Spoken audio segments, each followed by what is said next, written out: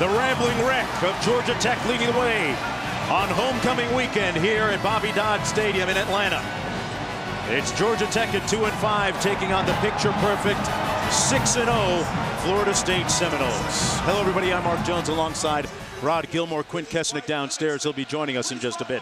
Hey, Florida State comes in here on the brink of history, Rod, looking for their 29th consecutive victory against a conference opponent. Not bad for a team that their coach says isn't even playing their best football. Yeah, it's a young team, and they're on a collision course with Clemson in the ACC right now. You think about it, and they've got Dalvin Cook, who may be in line to compete with Leonard Fournette for the Heisman.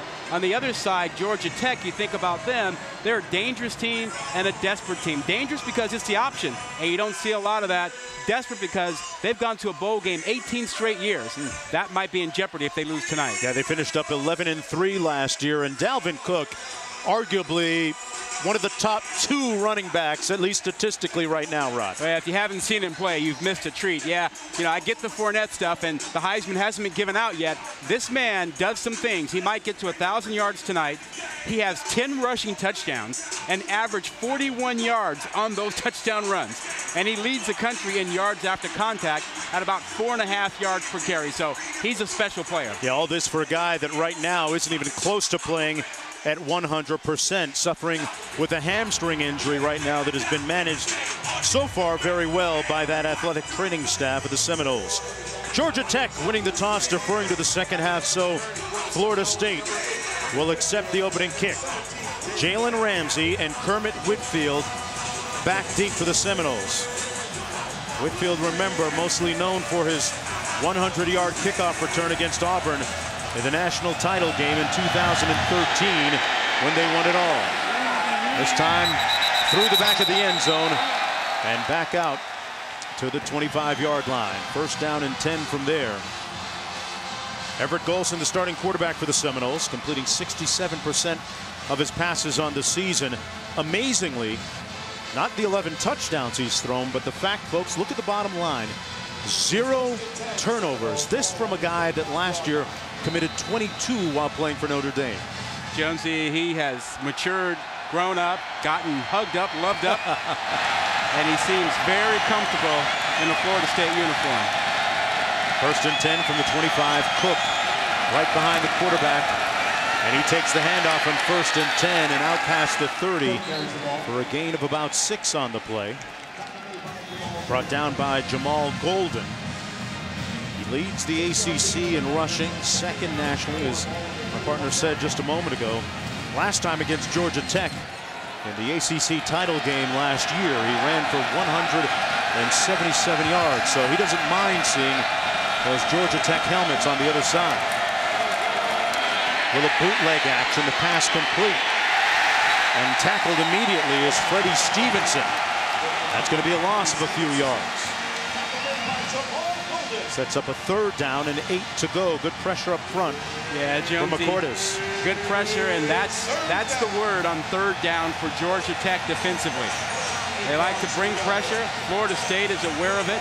They've got speedy receivers on the outside. They'll try and hit them if they get the pressure coming.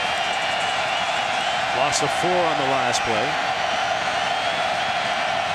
Florida State is trying to shake the habit of slow starts, especially in the first half. Golson completes it. Cook made a nice shake, took a little contact and stopped up. Boy, really close to that first down marker.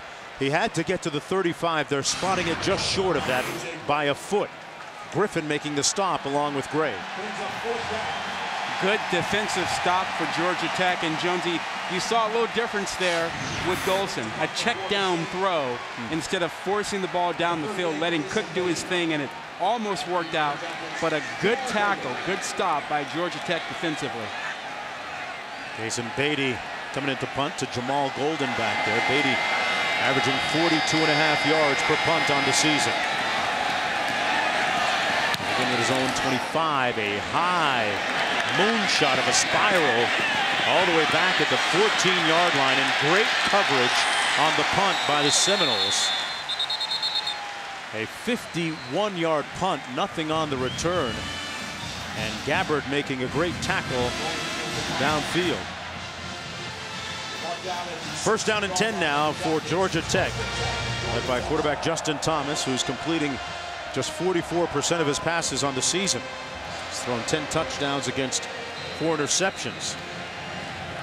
And a little bit of a struggle for him in the offensive unit.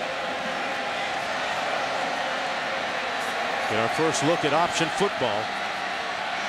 Toss to Lands-Davis. And Mikell Lands-Davis brought down after a gain of a few, got about six on the play. You mentioned Thomas as the guy who runs the option. I call him the magician. You never know where that football is going to be, the way he handles it. Up at the line quickly on second and four. Of course, when you talk about option football, you talk about assignment football on the other side of the ledger defensively. The word eye discipline has been used a lot this week on the toss, and they limit that to little or no gain on the play. Isaiah Willis brought down. Third down coming up now for Georgia Tech. Well, that was the third part of the option. There's the initial one inside. Fullback Marshall doesn't get anywhere. Quarterback Thomas puts it on the outside. And good speed by Florida State chased that down. Well, Derek Hoskins making the tackle on the play. Third and three.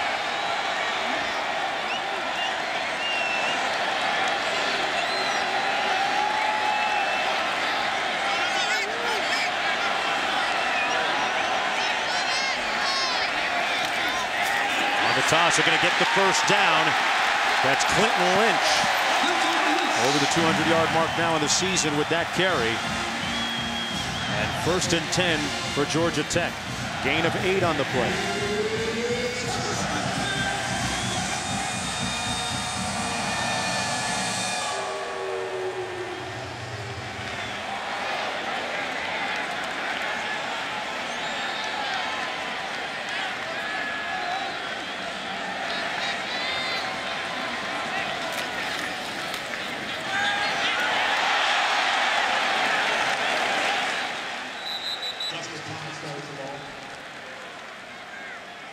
Short gain by Thomas on the play of four. All right, thanks a lot for those of you who are watching Oklahoma and Texas Tech here in Atlanta. Zeros on the scoreboard. Georgia Tech with its first offensive possession of the ball game after a three and out by Florida State.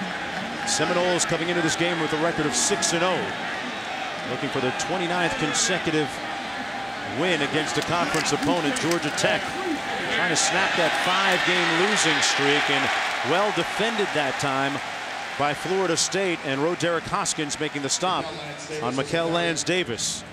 As we take a look at our prominent storylines coming in this ball game, Florida State at number nine overall, six and zero, trying to shake those slow starts they've been having. But boy, you can't point the finger of fault. Dalvin Cook approaching 1,000 yards rushing on the season, second overall in the country. Georgia Tech for a host of reasons in the midst of a malaise right now on a five-game losing streak. At times, their coach Paul Johnson says they haven't been able to get out of their own way. On the screen, batted up and intercepted. What a play by Josh Sweat. He tipped it, he it, he did it all. First and 10 the other way for Florida State. Jonesy, his teammates call him a freak. He's a freshman, 6'5", 237 pounds. He's long and lean and athletic, leads the team and pressures on the quarterback, and this is just another athletic play. Pops it in the air with his right hand and has the presence to find it and think about getting into the end zone. Man. Florida State with a lot of great athletes on defense. Do you take a shot here into the end zone on first and 10? Yeah, why Quick not? strike. Why not? Let's go. Everett Golson, second series, hands it off to Dalvin Cook. That's as good as taking a shot. Cook, first and goal, Florida State from the three. That's about as good a shot as any, right? Tell me about it. He, Cook is so explosive and quick. He gets to the edge in a hurry. So good block by the tackle, opening up a huge hole there, but he quickly gets in and out of that hole. A gain of 17 as he approaches 1,000 yards on the season. Came in needing 45. Quick in the backfield beside the Notre Dame transfer, Everett Golson. Cook again, this time everybody keying on him, and he stopped up about a yard short of the line of scrimmage. Freeman making the tackle, no gain.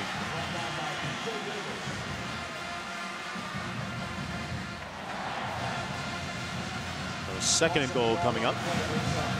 Uh, down here, Jonesy.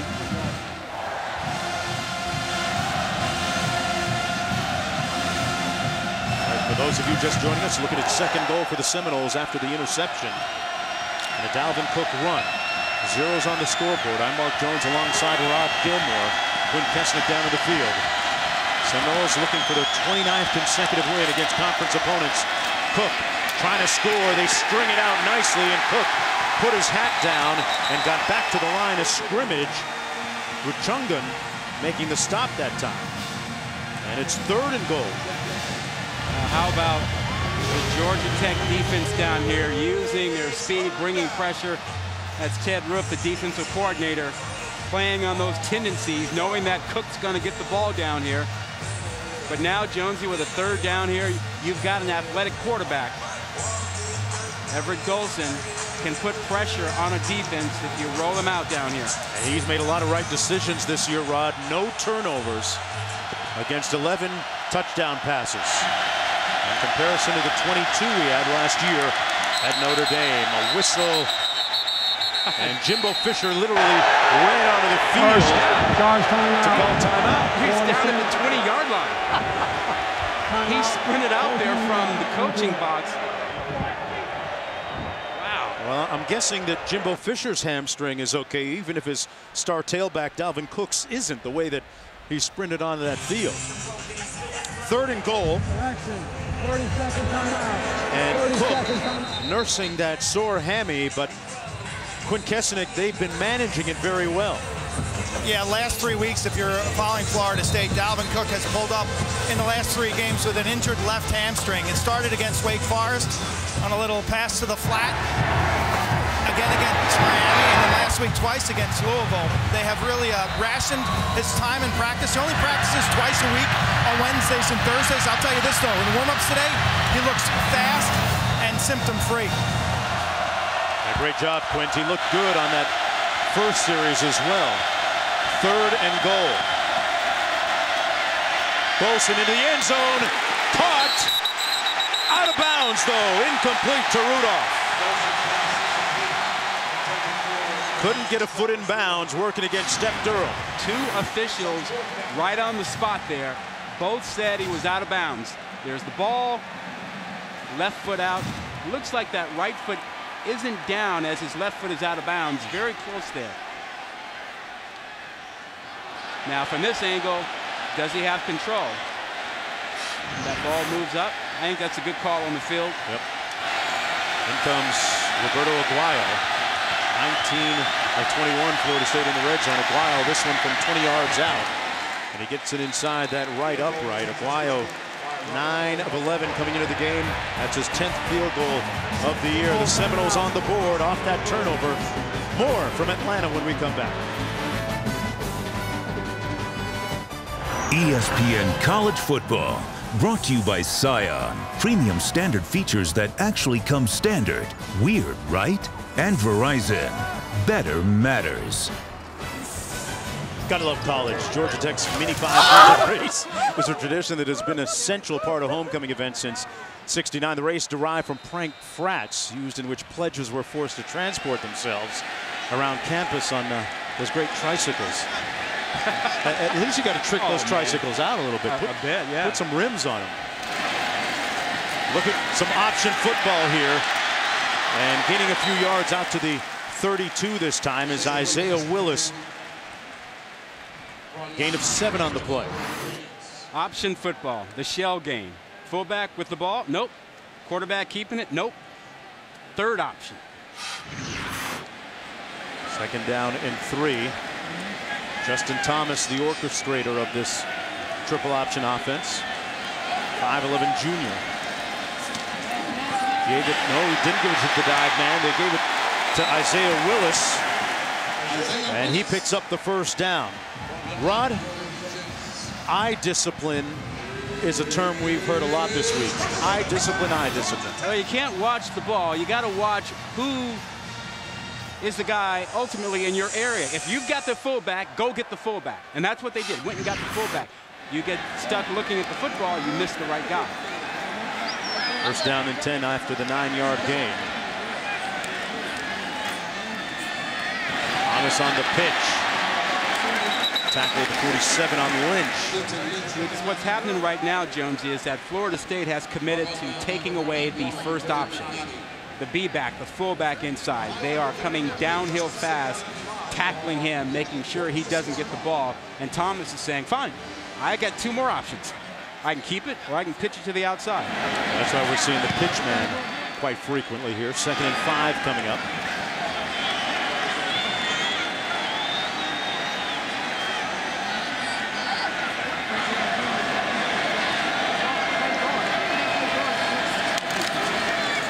Thomas keeps it and pivots.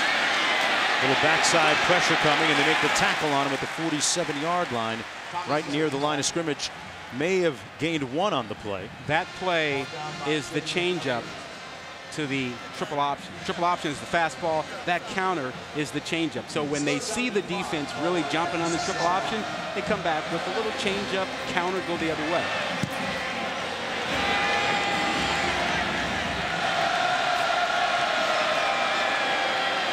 Third and five. Marcus Marshall in the backfield had a big week last week on the pitch. Thomas finds his man for the first down.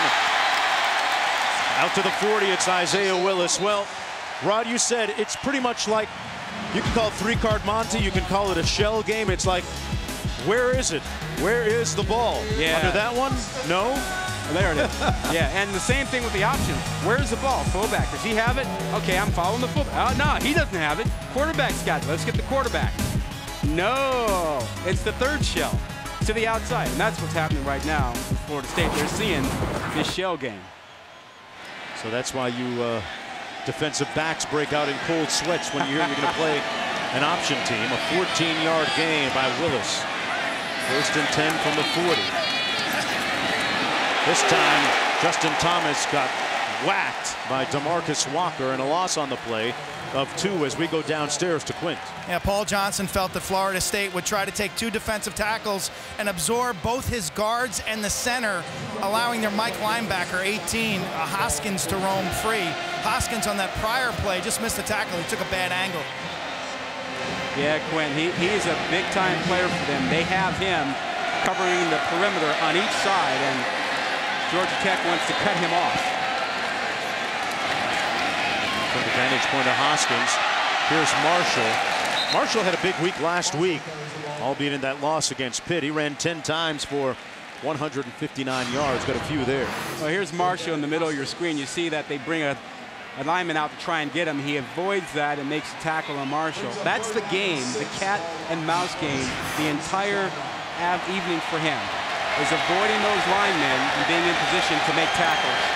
Third and six. Rod, they've run it all seven times, all seven plays on this drive. And, and I think they should again. They are in two down territory. They can run it twice down here. They're not a great passing team. Yeah, Justin Thomas has completed just 44% of his passes on the season. And irate, perturbed head coach Paul Johnson going to make the call when we come back.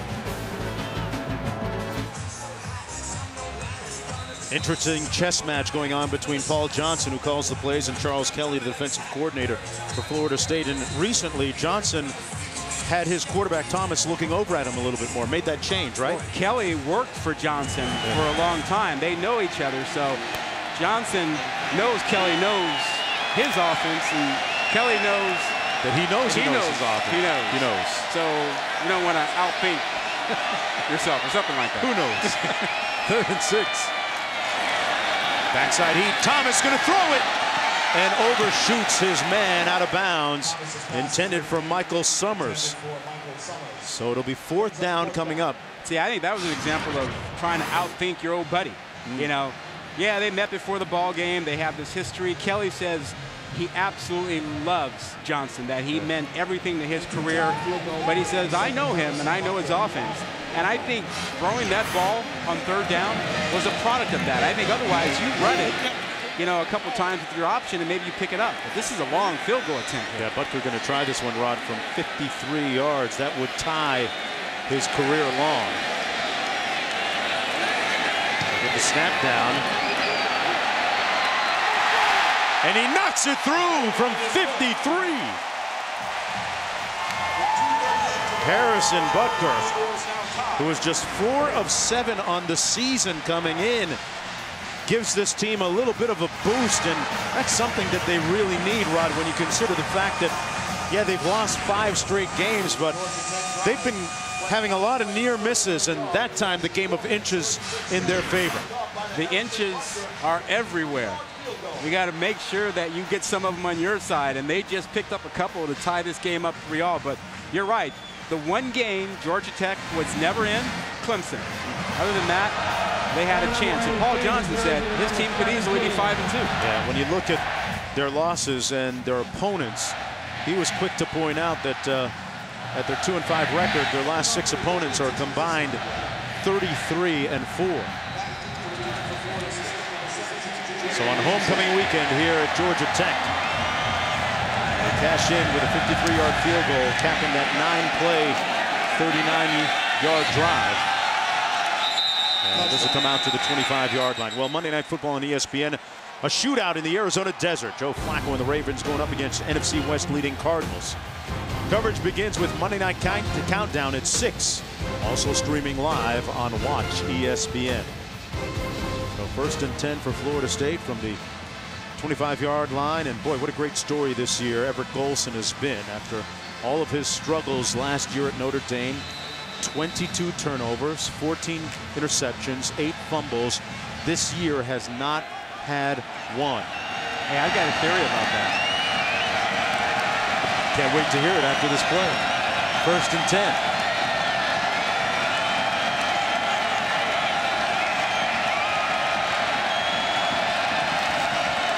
It's Dalvin Cook. And Cook stopped up for a gain of about two. So what's what's your theory on the turnovers or lack thereof? Well, I just think quarterbacks are a different breed. And it almost takes a quarterback to know a quarterback. Mm -hmm. And Jimbo Fisher was a quarterback. He's been an offensive coordinator his entire life and a head coach, still runs the offense.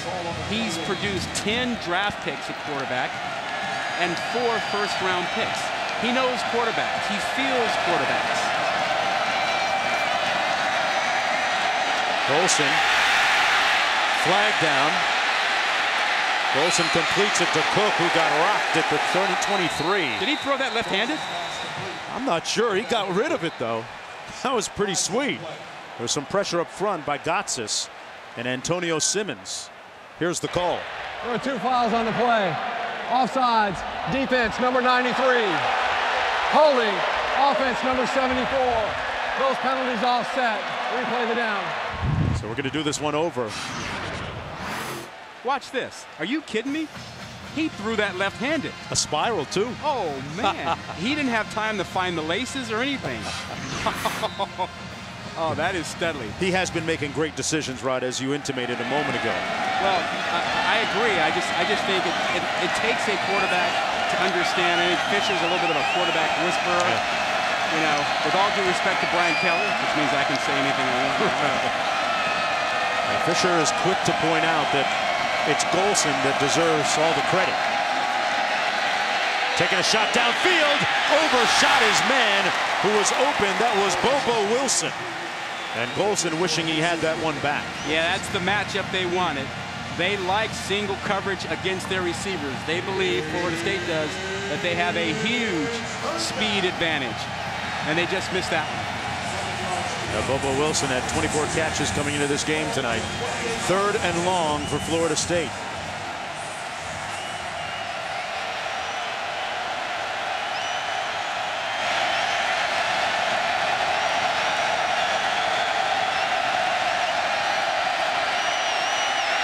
Golson complete to the 41-yard line. He goes right back to Wilson, who moves the chains on the 14-yard reception He was working against Step Durham on the play. Young offensive line gave Golson plenty of time.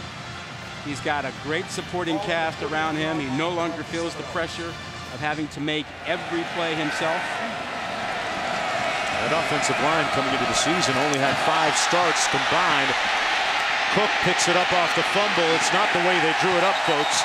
It's going to be a loss back to the 34-yard line. A little bit sloppy in their execution, resulting in a seven-yard loss. Well, Golson says it was a bad snap. He thought it was a little bit to the right that he wasn't expecting, like he was planning on moving to the left. When the play ended, he went to his center and said, hey, a little bit back to the, the middle a little bit more. That's, that's Hoefeld, number 59, who is playing with his right hand really taped, really wrapped up, and I wonder if that had a little impact on it. This offensive line had a lot of miscues last week in their win. Lot of offside penalties. Golson, a little loose with that ball, and sacked back at the 32 by Adam Gotsis. He's the guy who might be their most dynamic up front. 96 right there. An incredible athlete, just 6% body fat. And folks, he's been in the gym. His third sack of the season and a good way to punctuate the end of the first quarter for Georgia Tech. Under the lights here at Bobby Dodd Stadium in Atlanta, Georgia Tech, and we're knotted at three. Florida State coming in 6 and 0. Georgia Tech 2 and 5, trying to snap that five game losing streak. Florida State, as has been the custom too often for their head coach Jimbo Fisher, a little bit underwhelming in the first quarter.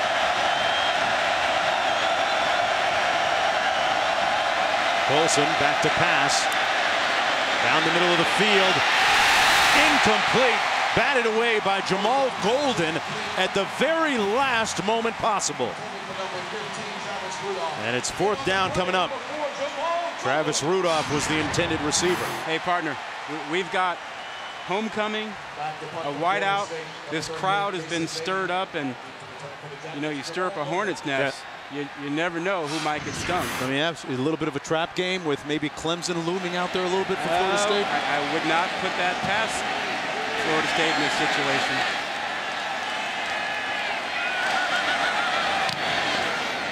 Beatty with the punt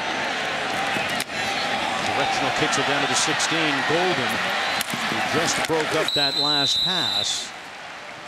Brought down at the 24-yard line. Will be first down and 10. 52-yard punt, nine on the return. Let's take a look at tonight's impact players. Brought to you by Chick-fil-A. Well, a couple of running backs. We've talked about Cook all night, a guy who is firmly in the Heisman race, an outstanding player. Marshall, Marcus Marshall, on the other hand, his second start true freshman, had a huge game last week, 10 carries, 159 yards and two touchdowns. He's in for Patrick Skov, the transfer from Stanford, who's banged up.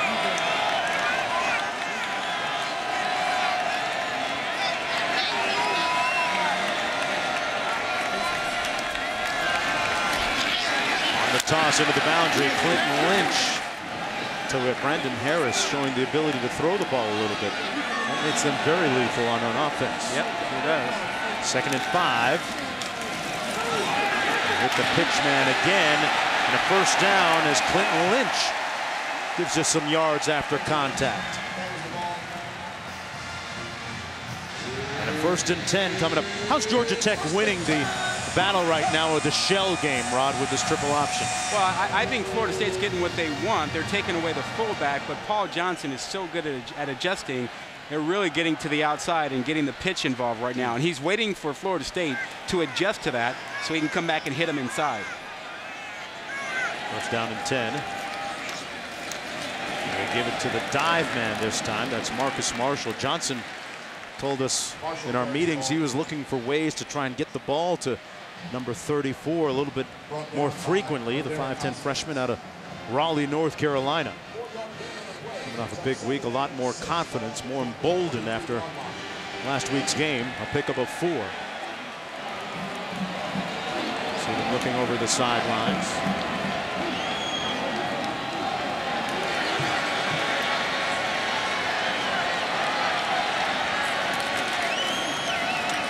To Marshall again.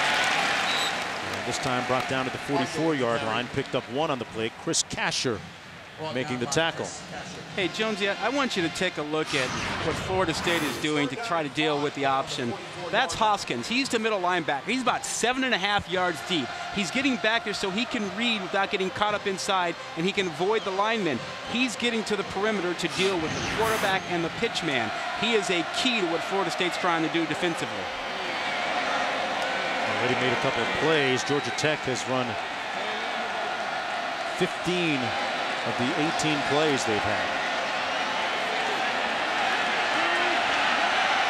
Play clock winding down. Second. And they call timeout before it expires. We're going to take one with them. Full timeout. Back with more after this. Well, tonight at 10:30 on ESPN, we've got Washington at number 10, Stanford, in a Pac-12 tilt. Kevin Hogan and Christian McCaffrey lead the Cardinal against the Huskies in Stanford. Hey, McCaffrey really tore up from the floor up on UCLA last week. Well, he, he 243 himself, yards. Yeah, he put himself firmly in the Heisman race. Crazy speed. Third and five here for Georgia Tech. See what they do coming out of that timeout a moment ago. There seems to be some confusion. Four on the play clock. They go to pass. And that's picked off. That play imploded from the beginning. Brutus with the pick. High stepping it down the sideline. Touchdown, Noles. Oh, they're going to mark it at the two. The official put his hand up on the near side. And that never looked good for Georgia Tech right from the opening of that play. You know, Jonesy, you're right. I think coming out of that timeout, they were completely confused. Take a look. There's one player who has no idea what he's doing. He just stands still. This ball was also thrown by Thomas completely off his back foot. Had no shot at it. Brutus was right there reading it the entire way. That play never had a chance. And here's one more look as he tiptoed down the sideline. Yeah, he Yeah, clearly stepped foot. out of bounds. Yep, left foot was out at about the two. Yeah, one of the officials on the near side of the field seemed to indicate touchdown. First and goal from the two-yard line. The second turnover of the night caused by that Seminole defense. Mavin Saunders, the big tight end, has checked into the ball game. He's a huge target at 6'5". They give it to Cook, and Cook tiptoes between the tackles for a touchdown. The nimble-footed tailback puts the first touchdown on the board of the night. And that's his 11th one of the season. He's six feet tall, about 208 pounds, 206 pounds, and he can find his way delicately in and out of the hole. He can run by you. He can run over you. Amen is the number two rusher in the country behind Leonard Fournette. Dalvin Cook just starting to get warmed up. And it's like my dad used to say, you can't cook with cold grease. And he's hot, folks. ESPN College Football, brought to you by Dr. Pepper and College Football. It's a one of a kind tradition. And Buick, proud partner of the NCAA. Well, the Georgia Tech whistle is a steam whistle near the Tech Tower dating back to the 1890s. Blowing of the whistle occurs five minutes before every hour and after touchdowns during home games. So uh, the hope is that our guy there, Miguel Zarate, in the tower is uh, pulling on that whistle and making that thing No- make some noise. No whistles on field goals? No. TDs only. This one out the back of the end zone. Uh, Chad Kelly throwing over the middle. You know what we say about the middle. The middle is filled with darkness and fear. Something like that. You know, you're gonna you're dark gonna and full of terror. you're, you're gonna you're gonna guilt me into buying the DVDs of uh, of that series, man. Game of Thrones. Gonna have to download it after the game tonight. First and ten. up. More option. They give it to the dive man, Marcus Marshall. You get the feeling, Marshall carries the ball. Rod, that statistically, I mean, Georgia Tech has been able to move the ball pretty well on the ground, but not quite reflected on the scoreboard. Uh, 10 points off turnovers, two picks, and you mentioned at the top 44% passing percentage for Georgia Tech, and those third down situations have not been good. They've got to stay out of the long passing situations. Second and seven, you saw head coach Paul Johnson there. He was telling us earlier that at times we've been our own worst enemy. They've had a host of injuries that haven't helped either. Thomas, though, putting the hurt on Florida State and running for the first down. You know, Jonesy, you, you can't make tackles when you're on the ground. And Georgia Tech, like any option team, they do a lot of cut blocking. They dive at your knees and they get you on the ground. And it happened on that last play. Florida State, they've got to use their hands and avoid being cut blocked. First and 10, Thomas looking over at Johnson on the sidelines.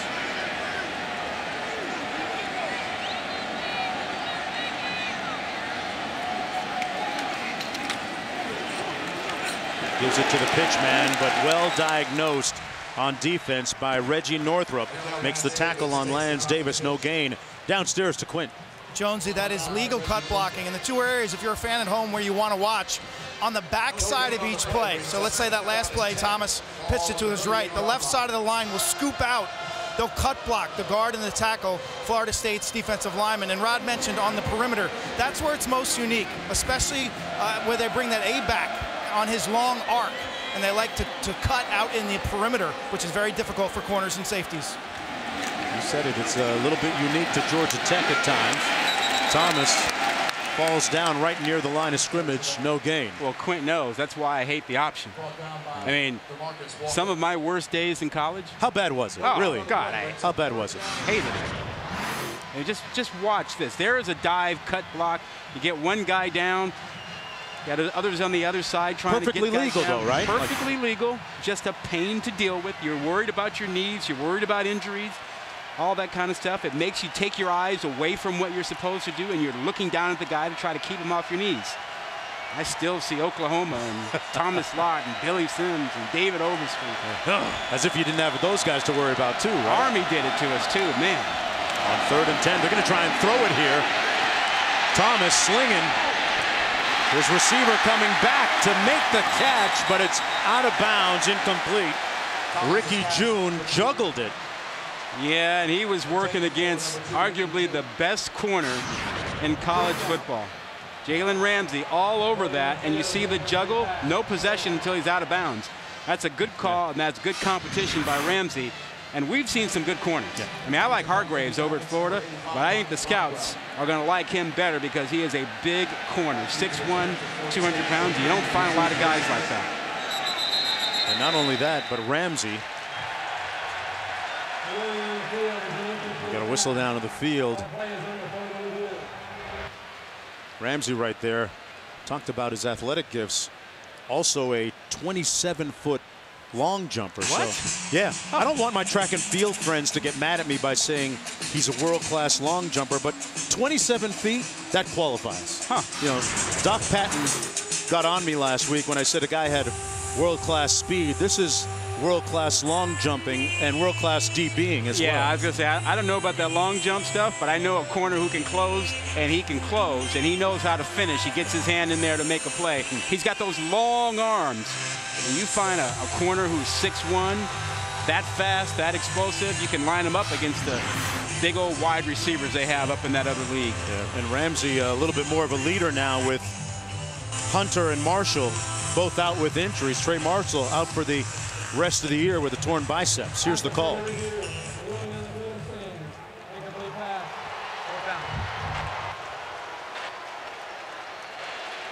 You know, Jonesy, before the game, we were down on the field. Quint's been down there. Quint's been hanging out with some of the seven scouts who were here to see players like Ramsey, or I guess there are a few other Florida State yeah. players you could scout tonight. They got a bunch of guys.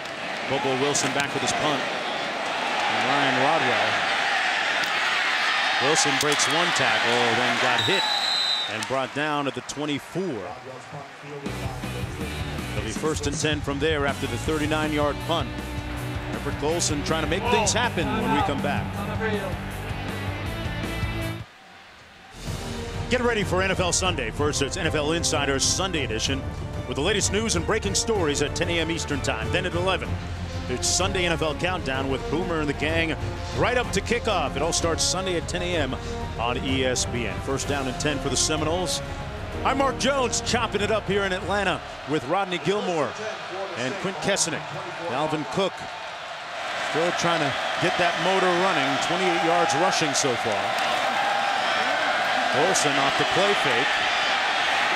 Complete through a dart to Kermit Whitfield, who's having an outstanding year, especially in the last two games for the Seminoles. Well, he's no longer just a kick returner. Once again, you see the great protection that young offensive line gives Golson, and just a dart to Whitfield, who had, what, a big game last week with nine catches. The week before that, another nine catches. He's really come on. First down and 10. Dalvin Cook hits the edge, cuts it up. And Cook with a nice first down run to the 43 yard line. Got a nice block up front by Hoefeld as we go down to Quint. And Jimbo Fisher really felt he could have success running behind his big left tackle, Roderick Johnson. 6'7", 323. He's only a sophomore. He's got about a half a foot and 83 pounds advantage on the smallish Georgia Tech defensive end, and that's the first time we've seen Cook be able to bounce one to the outside. Yeah, when you're calling an opponent small and he's 250, that's an advantage. Here's Cook with a sweet cutback.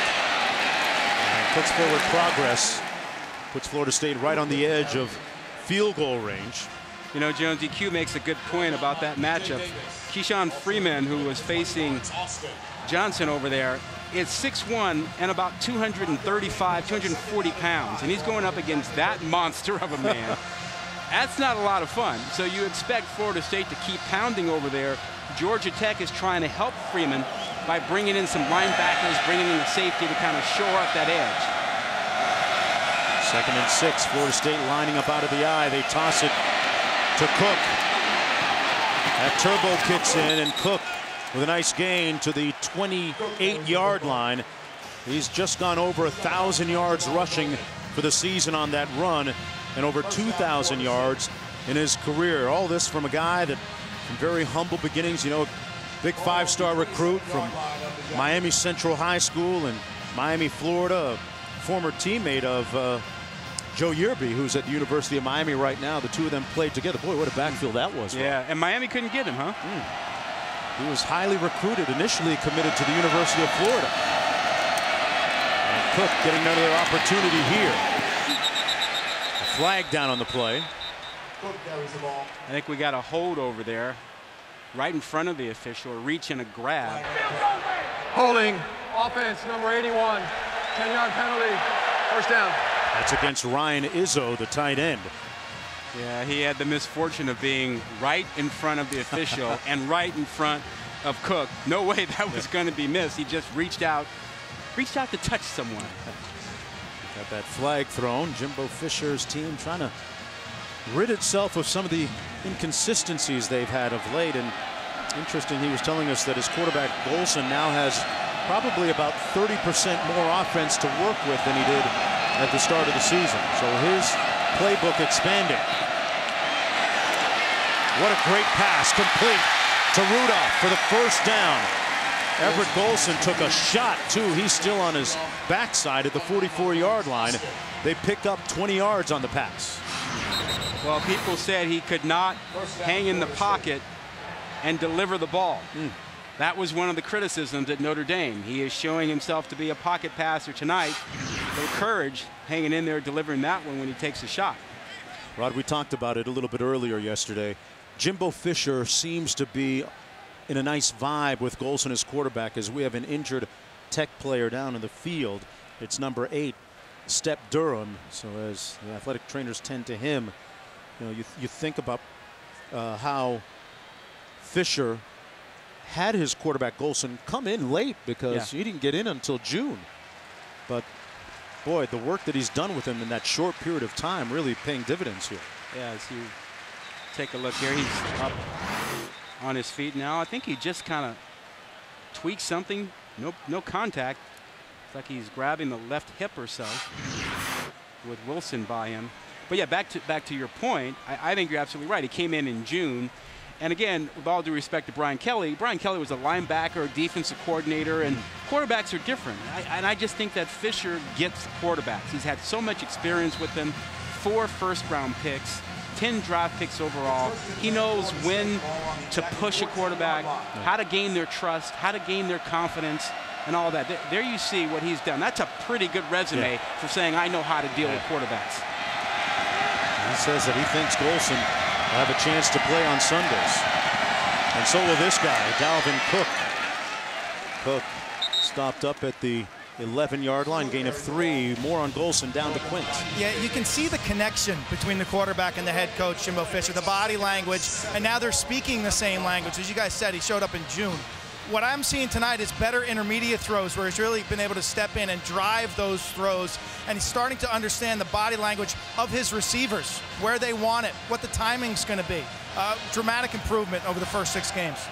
Not to mention a lot of buy-in from Golson. Maybe that wasn't there when he was at Notre Dame. On second and seven, he's got number four back there, but Cook stopped up for a gain of one yard by Jamal Golden, the starting strong safety who makes the tackle on the play. You know, when your star player is really humble like Dalvin Cook, it really helps the team, and his humble beginnings go back to the days when he would come home from school and as a youth, nine, ten years old, run down 95th Street and 27th Avenue to the car wash where his dad used to work and put in a shift of work with his father. I kind of wish he were putting in a shift of work right now on third down in the in the red zone here, but he's he's on the sideline. Yeah, I, I'd call a timeout because I'd like Cook to be on the field. That hamstring, which Quint reported on, using that special system to keep track of the load is holding up so far. Back after this. 10 to 3 ball game, a little over four and a half to go. And moments before that timeout was called, this was the scene. Like you said, Jimbo wanted his guy out there, right? Third down and six in the red zone. I don't want Cook coming off the field, neither did Jimbo. He's like, hey, you stay out there. We need you out there on the field. That wasn't working. They went to the timeout. 4.28 to go.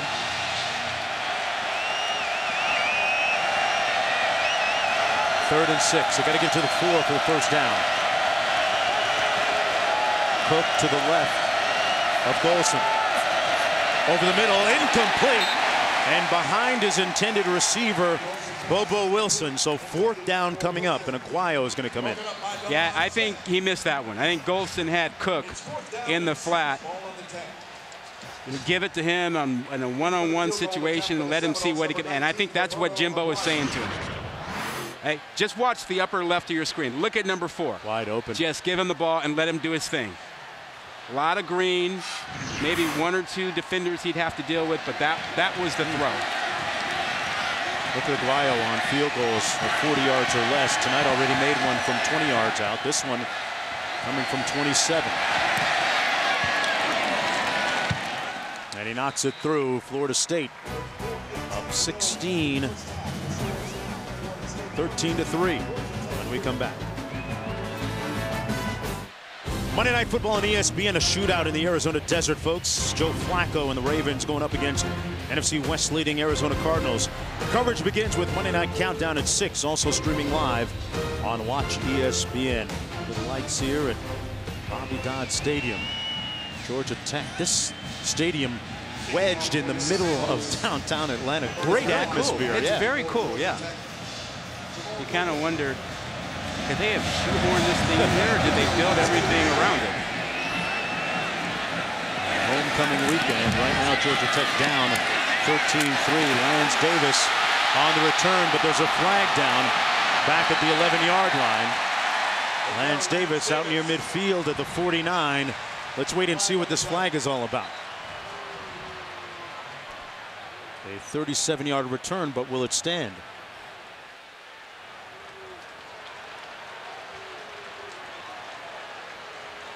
Our official's microphone obviously not working, but the indication that that is coming back.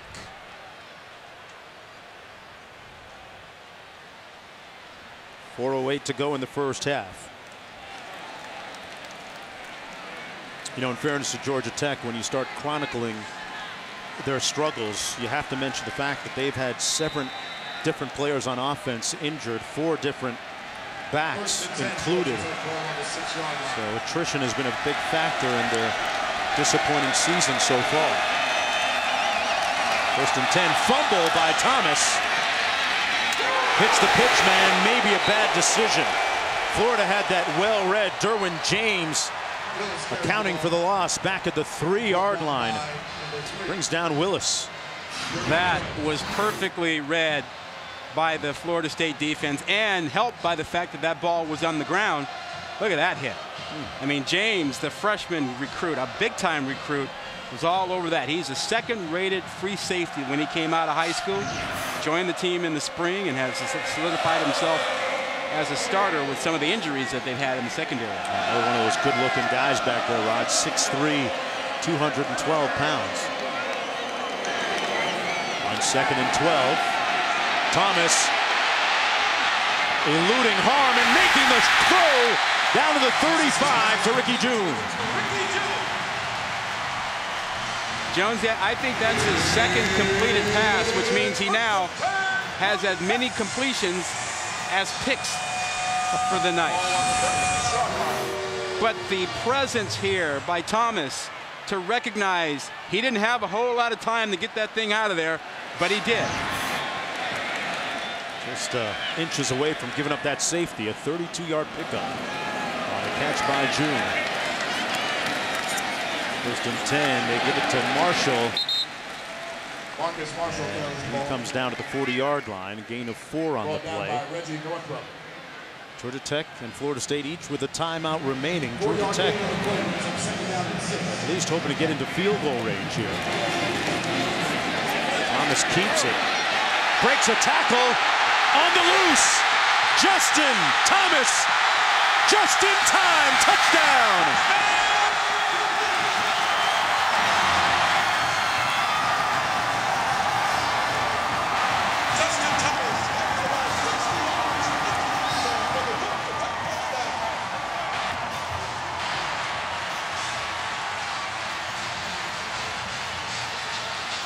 A 60-yard burst into the end zone. Watch Ramsey, number eight from the backside, who runs him down, but can't hang on. And then he's into the open after having a couple of good blocks on the outside. Nobody can catch Thomas. We got ourselves a ball game. Boy, flag down on the play, and boy, what a big break and a big play for Georgia Tech with time winding down here in the first half.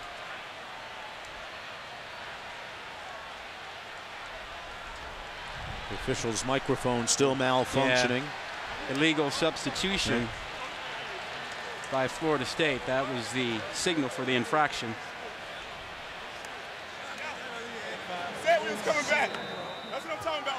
And I believe that's just the second rushing touchdown that Florida State has surrendered Correct. all year long, Rod. And Correct. The first one over 30 yards allowed for them this season. So a night of firsts. 2.22 to go. Justin Thomas making things interesting.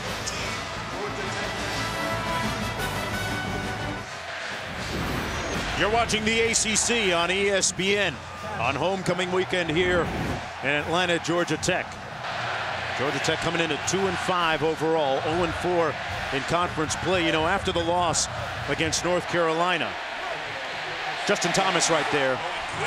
His coach gassing him up on the sidelines. Thomas was in the dumps after that North Carolina loss when he fumbled at a critical time, but he has since bounced back. Meanwhile, Jalen Ramsey on double duty here, wears number eight when he's their starting cornerback, and then on kickoff return jersey. Now jumps into the phone booth. Well, not quite a phone yeah. booth, Rod, but you know. remember, he, he missed that tackle, and now he's back out on the field, almost uh, with a chance to return. All right, first and 10 for the Seminoles from their own 25-yard line. It's first and 10, Florida State ball on the 25 2.22 to go in the first half. Seminoles accustomed to playing in close games, especially early. They haven't really blown any of their conference opponents out yet. Out to the 27-yard line. What, Rod, what do you make of Florida State in terms of the college football playoff and one of those top four slots is November 3rd, the date of the first college football playoff rankings coming up? Well, I think they're staring at a showdown with Clemson, assuming they get by Georgia Tech tonight. And I think the winner of the ACC, if they're undefeated, will be in the playoff. I think if you're a one-loss team out of the ACC, mm. it gets shaky. You're probably going to be left out. Second and nine. Golson with a completion. This is Whitfield. Whitfield with that big speed picks up a few more you know, and, and, when we talk about the playoff, we're, we're making assumptions way down the road. I mean, we're thinking maybe the Big 12 has an undefeated team. Right. But if the Big 12 has a one-loss champ, the Big 12 is on the bubble. I, I think I think the Why SEC. Yeah. Well, because of the weak schedules. Right. If you don't have play a tough schedule, the committee is going to get that, give you that side look like, hey, why, why should we put you in the 14 playoff? After the nine-yard gain, first down and 10. Wilson finally decides to take off and pushed out of bounds at the 37. Golson came into the game tonight with 188 consecutive pass attempts without an interception. That streak still alive. He picks up two on that run with 131 to go in the half. Georgia Tech has really done a good job defensively of limiting the big plays by the Florida State offense. Florida State's receivers have not been able to get behind defensive backs. They expected to be able to do that with their speed. Still a young Florida State team. But sometimes when you're young, you're really talented, like that guy, Dalvin Cook, with a first down into Georgia Tech territory, just shy of the 44. Dalvin, Dalvin Cook had a chance to speak recently with former Miami Central grad and current Atlanta Falcon, Devonta Freeman former high school teammates at Miami Central. A pass caught at the 32. Boy, Travis Rudolph took that off his shoe tops of his Nikes. Well, Golson was under pressure and just had to get rid of it. And Rudolph made a circus catch. I mean, tremendous catch to pull that one up. Got to take another look at this, Rod. Behind him hmm. And low. Could have been an infielder. 14-yard gain. Quickly down to the 31. Pass complete and a nice open field tackle on Kermit Whitfield at the 27-yard line, limiting that gain to four. Good tackle by Lawrence Austin. Clock management right now. You've got a timeout. You're in field goal range. Clock management is critical. Golson completes the pass to the 21 to Ermon Lane just shy of that first down. It looks like uh, he's close to it. Oh, yeah, they're, going to give it to him. They're going to yeah. give it to him, yeah. Now the, the clock, the clock is going to start once they mark this. I think you want to take a shot here because you don't want to just spike it now. You could, but you got one timeout. You got a chance for a couple of plays. They're going to throw it. Golson burning time on the clock, and there's that left-handed pass. This time incomplete. That, that, that the closest you. one. That's not good clock management. Remember, they had a timeout. They had enough time to get a couple of plays in. Now, we've seen the left-handed throw earlier. He gets this out of bounds. but but you're in a tough spot. You you just lost 12 or 13 seconds. I don't think you can run another play. I think you got to kick it here. And in comes Aguayo downstairs to Quint first. Jimbo Fisher calling timeout there to get his field goal team organized. Aguayo, if you follow college football, you know how accurate this young man is. Watching him in warmups, the distance here is, is of no concern. He, he was good in warmups from 52. The coach has seen him hit from more than 60 in practice in the spring game. I did see him, however, push two to the right from 50 in warmups. Let's see if he can straighten that out. No wind, ideal conditions tonight for uh, a guy who may be America's best kicker. Yeah, good point. And uh, going to attempt this one from about 38. Uh, Golson's indecision may have cost them an extra play. Jimbo Fisher had some very animated conversations with Jameis Winston last year. I mean animated, folks. If you saw them, they were very, very uh, uh, Yeah. uh, pointed. Sometimes uncomfortable yes. for viewers. And Golson starting to get some of those now, too. From 38 yards out, Aguayo. Cash money. And Florida State leading 16 to 10 after the first two quarters of play. Golson speaking with the staff. Stay tuned for our Outback Steakhouse halftime report when Quint will have Coach Fisher. Right now, let's go back to the studio. You're watching the ACC on ESPN here at Bobby Dodd Stadium in Atlanta. Homecoming weekend here at Georgia Tech as they try to snap their five-game losing streak, but a daunting task in facing number nine Florida State, who lead 16 to 10. I'm Mark Jones alongside Rod Gilmore. Quint Kessenich down in the field. We'll be hearing from him in just a bit. Florida State's bell cow all season long has been their star tailback, Dalvin Cook, number two in the nation in rushing coming in. But Rod, so far very uh, a pedestrian 63 yards rushing. Yeah, you know, not unusual for Florida State. They've struggled in the first half of ball games. He only had 63 yards, only 63. But Georgia Tech did a good job of limiting big plays. There were only three big plays for Florida State. You know, they did a nice job except for the points off turnover. That really hurt them. Two turnovers, 10 points for Florida State. No, you've got people spoiled when you describe 4.8 yards per carry as pedestrian, but that's the high standard that Cook has set coming into the game tonight. Florida State kicking off to begin the second half. Georgia Tech will go on offense here. It'll come out to the 25-yard line, first and 10. Let's go down to Quint. This is exactly where we've been in four out of our last five losses. That's the words of Paul Johnson as we talked as he was walking out of the tunnel. He said, this is where we've been. And the question is, can we finish this game? I also asked him about the touchdown run. He said they created a numbers advantage on the play side when Justin Thomas scooted off for that touchdown. They did something in their blocking scheme to give them an extra hat on the ball side. Johnson, uh, a masterful guy at making critical adjustments at halftime. He always has a reaction to start the third quarter as to what the defense was doing prior. That's something that Charles Kelly, the defensive coordinator for Florida State, is well aware of. Marcus Marshall picks up about seven on first down. Remember, Charles Kelly worked for Paul Johnson for several years here at Georgia Tech. There he is on the sidelines. Yeah, and he, he knows that Johnson makes the second half adjustments. And remember, in the first half, it was the pitch. It was the third option on the triple option that, that hurt Florida State at times, not the inside run by the B-back, the fullback. Second and three.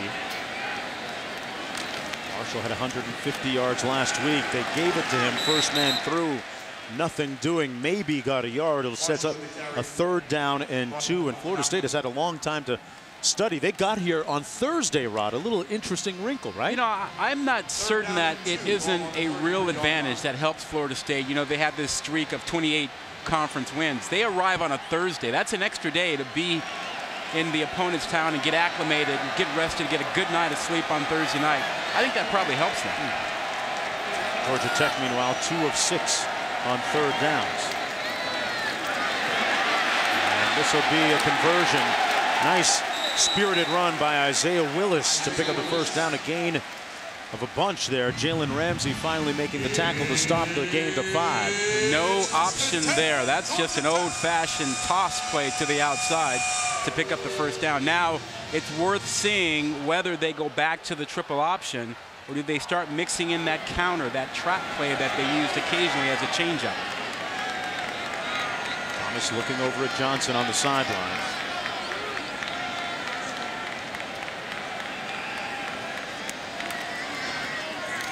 Give us to Marshall.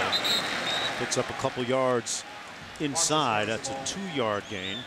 Lawrence Stample making the stop on the play. So going back to Florida State getting here a day early, overall, uh, it's a bit of a different approach in the big picture of college football, right? Most schools travel on Friday, arrive on Friday. It's just not in their budget, but Jimbo really believes you get in early, it helps you get acclimated. They take care of their academic advising on Friday, Right. have kids study, but they've got two nights to get settled here, and they, he thinks it really works for them. And we were going through our interviews on Friday with them. We saw a bunch of players in study hall in front of their laptops. And Justin Thomas stopped up about four yards short of the first down by Jacob Pugh. picked up six. Remember, Florida State looking for its 29th consecutive conference win. Second Well- longest streak in ACC history. when you have an athletic program that has been as successful as Florida State, you've got a big budget. You can you can choose to spend that money for the extra Yeah. night, the hotel, the food, and the like. Yeah, they've got some bells and whistles in their program. Third and four. Marshall in the backfield. The toss into the boundary and a first down picked up by Clinton Lynch. Got a nice block on the edge from Isaiah Willis. And a nine yard gain for the first. First and 10, Georgia Tech. And Pugh hobbling off the field.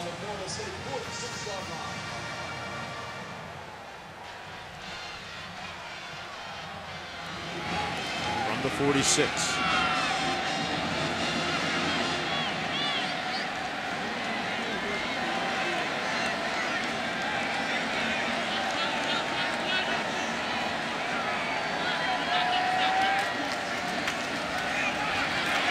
Thomas kept it, put it on spin cycle and makes it down to the 40-yard line.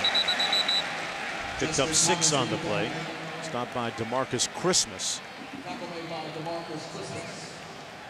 They've run it seven times in a row on this drive, the opening one of the third quarter. Georgia Tech. Ball on the Seminoles 40-yard line. Thomas initially committed to Alabama coming out of high school. He's an Alabama resident out of Prattville.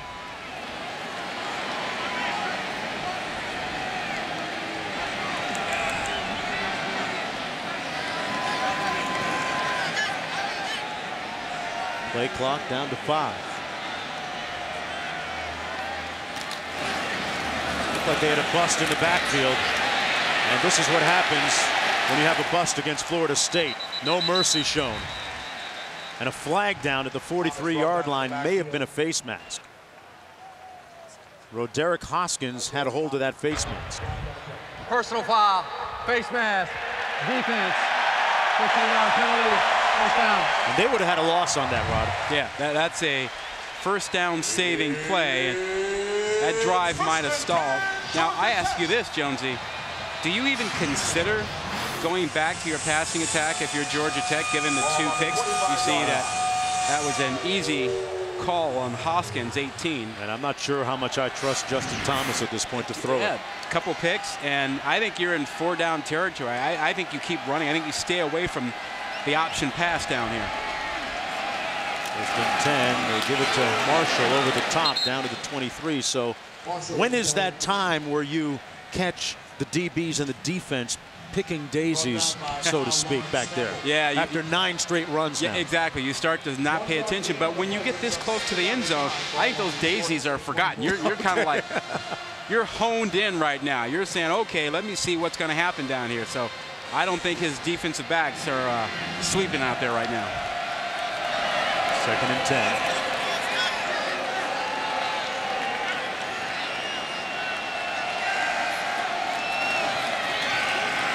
Marshall stopped up. They give it to the dive man, DeMarcus Christmas. Well read. Whatever games they're playing on the interior are working. You know, right? that's a good point. They, Florida State has changed their front there so that the initial read that Thomas is looking for is not the right read. Instead of it being the defensive end that he's trying to read to see if he's going to take the fullback or not, they've switched. They've got the linebacker stepping in and that end playing out. And so I think that's why he's giving it to the wrong guy there.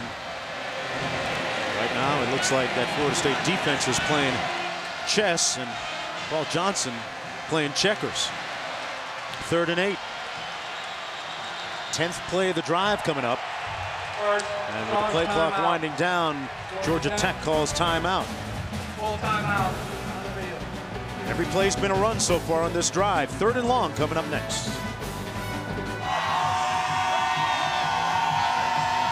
I've seen tricycle races, so what's this?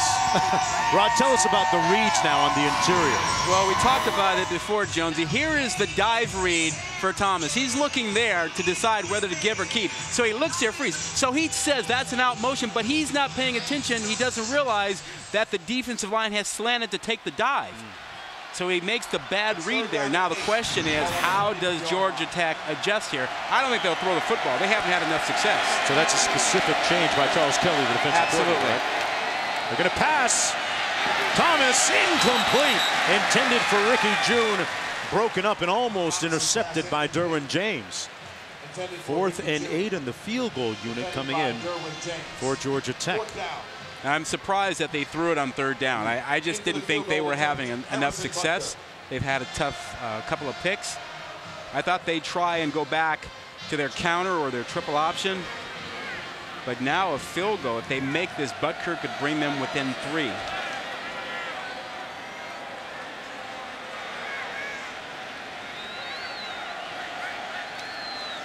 From 40 yards out. Butker gets it right inside that left upright to cut the margin to three. Timeout on the field when we come back. Dalvin Cook, Dade County's finest, going back to work. Dalvin Cook's off and running. Cook is the real deal. Breaking tackles. There he goes. Freak show. 94. 74. 72 yards. As good as any running back in the country.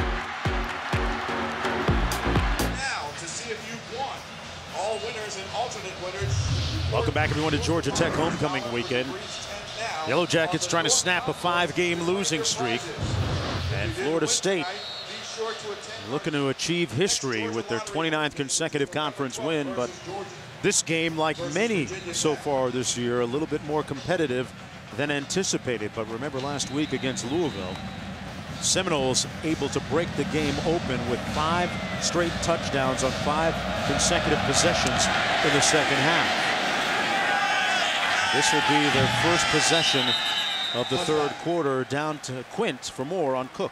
Yeah, this is a point in the game where you worry about the hamstring of Dalvin Cook. Three weeks in a row, that left hamstring has flared up because he's been sedentary. 20-minute halftime and about a seven-minute Georgia Tech drive. You worry about his body temperature dropping and that hamstring getting tight. One other thing I was told from their strength and conditioning staff, when he runs down low with body lean, he's fine. The pressure's on his quads. It's in these games when he stands up in the open field and accelerates that he puts more pressure on that hamstring. Don't you do that, Quint. Don't Hey, you Quint. pull anything down there. Don't, don't leave that hamstring on the sideline there, Quint. Good job, first and 10.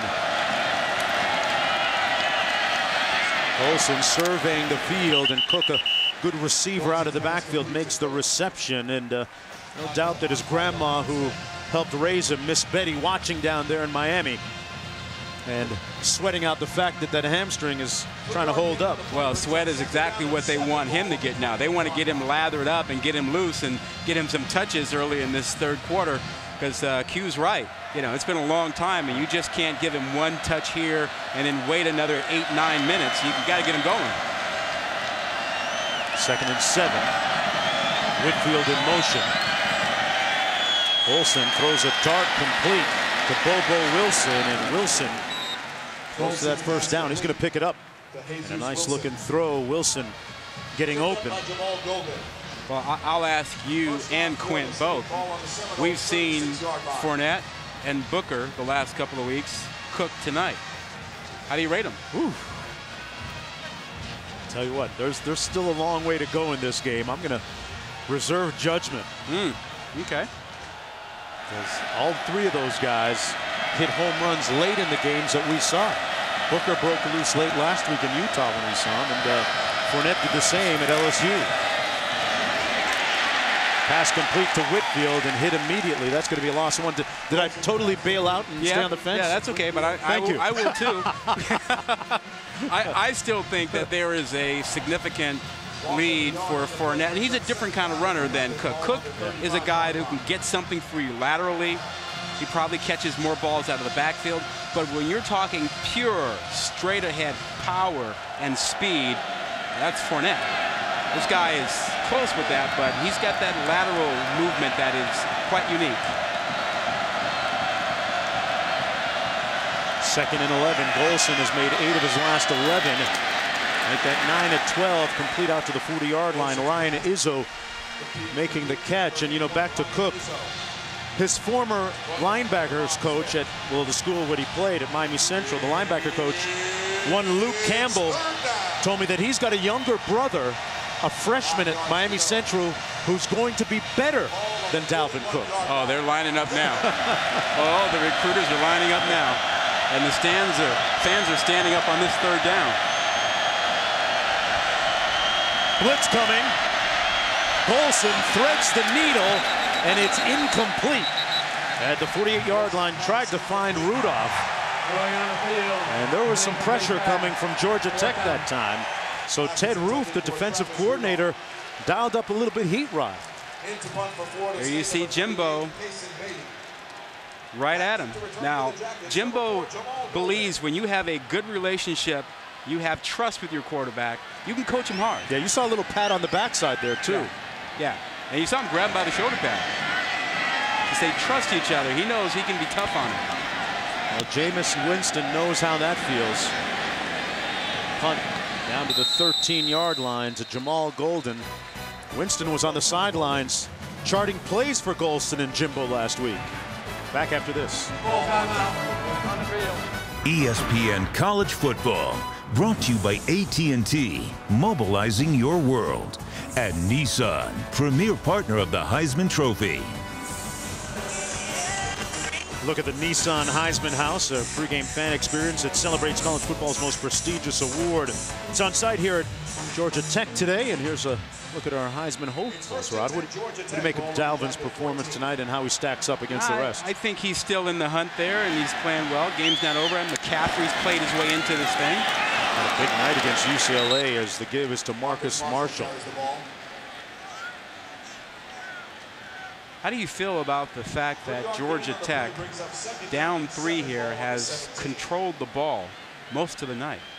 The time of possession, uh, 22.07 for Georgia Tech and 17.10 for Florida State. Paul Johnson's team has had a lot of near misses. One more symbolic than last week, losing to Pitt on a long 56-yard field goal. Here's Campbell. Marshall in the open field. Marcus Marshall gashes them out to the 40-yard line, a 23-yard pickup. This is a trap. This is an adjustment. Just watch as you see inside here a good trap block by number 78.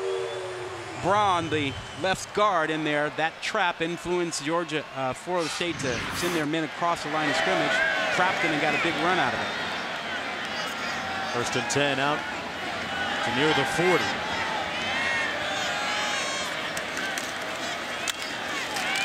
Marshall again picks up about two as we go back to Chris in the studio.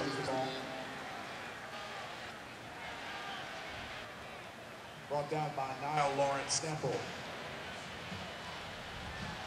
Three-yard gain brings up second down and seven. Ball on the jacket 43-yard line.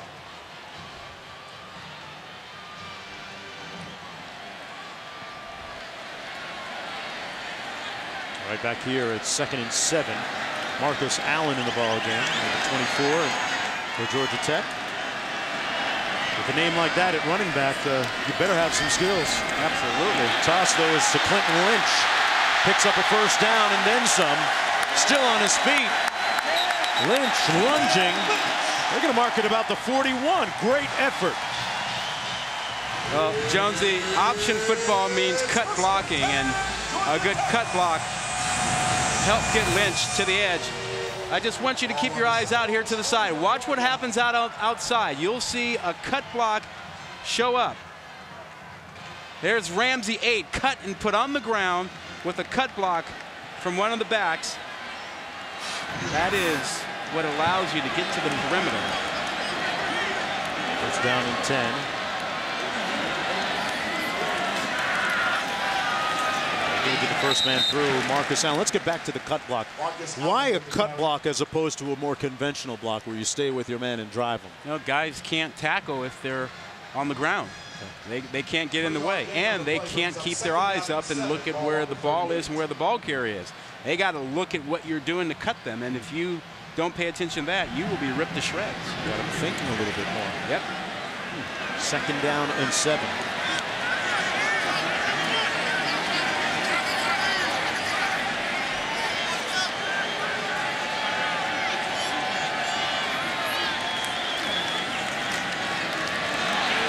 Tackles. It's Marcus Allen putting them in field goal range down to Quint.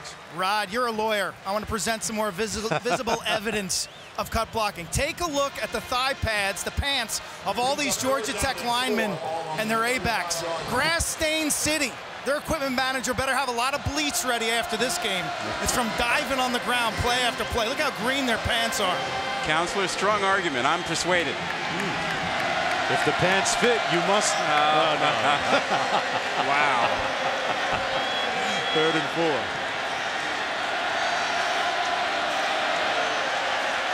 Last time they had a third down, they threw it.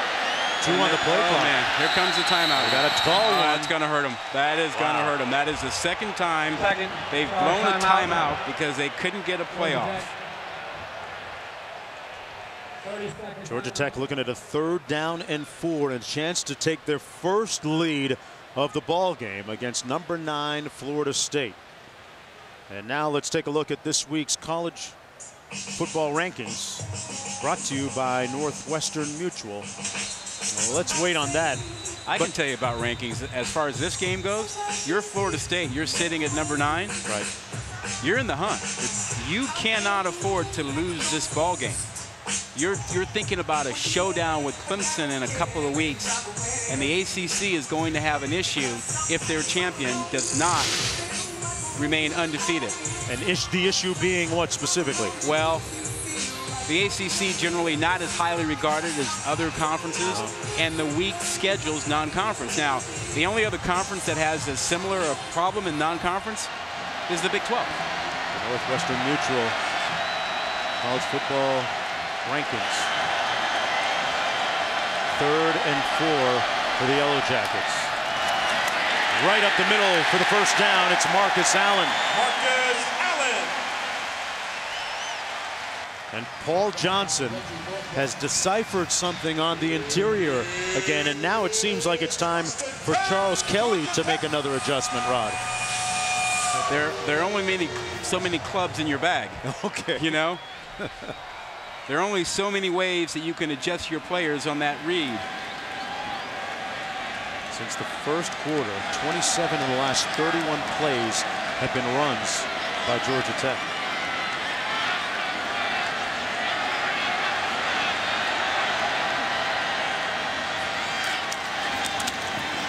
Allen got it again. This time they were sitting on it and waiting for him.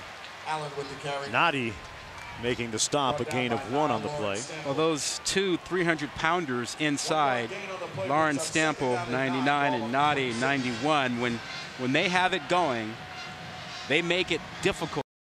Allow Kelly to change things up on the reads for the quarterback and the pitch. But those two big tackles inside, if they're disruptive, that's a problem for Georgia Tech. Second down and nine. The Yellow Jackets driving.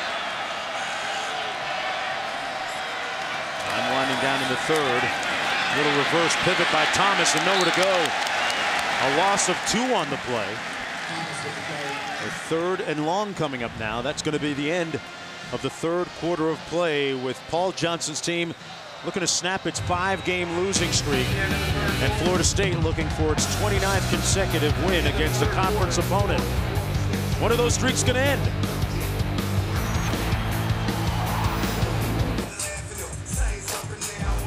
Welcome back, everyone, to look at our game summary. Dalvin Cook, 13 rushes in the ball game. Well, oh, you, you know why? He only has 13 rushes. That's what he had at halftime. Wow. He didn't touch the ball in the third quarter because Georgia Tech played keep away.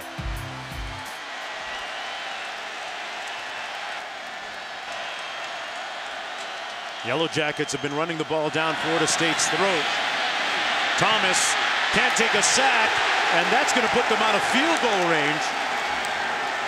Or the very worst, on the long fringes of it, Josh Sweat with the sack. Josh Sweat. Jonesy, I, I don't get it. I really don't get it. Their passing attack has been non-existent tonight. I, I, I thought all along they'd be better off on third down, taking their shot, running their option, and if you got close enough, you know, go for it on fourth down or kick a field goal. But this passing attack tonight, Not good. Boy, Paul Johnson all over, all up in his quarterback's grill. As many completions as they have picks tonight. Sweat with the sack there. He also had the interception earlier tonight. And the play clock ran down. I'm I'm sorry, Delay but game. that's Offense. knowing your team and how it's playing, Fourth and you know you're on the edge of the field goal range, a chance to tie it. You can't take a drop back pass. You're an option team. You're struggling to throw the football. You can't do that now. W- w- was he thinking there was an element of surprise there? Well, or? yeah, and he's mad at his quarterback. But if I were the coach, I'd be mad at myself. Don't put him in that position. Well, They move it back a few yards, and here's the punt, an end over end one that comes down at the 10 yard line. Rodwell gets it to Wilson, and uh, a late flag, a flag on the field at the 17 yard line near side of the field. There was some action right at or after the whistle. Boy, Georgia Tech really had a great opportunity there. Was moving the ball and then a couple of negative plays took them out of field goal range. Stunted that promising drive and now this. Personal foul. Against Georgia Tech. Number eight. 15 yards.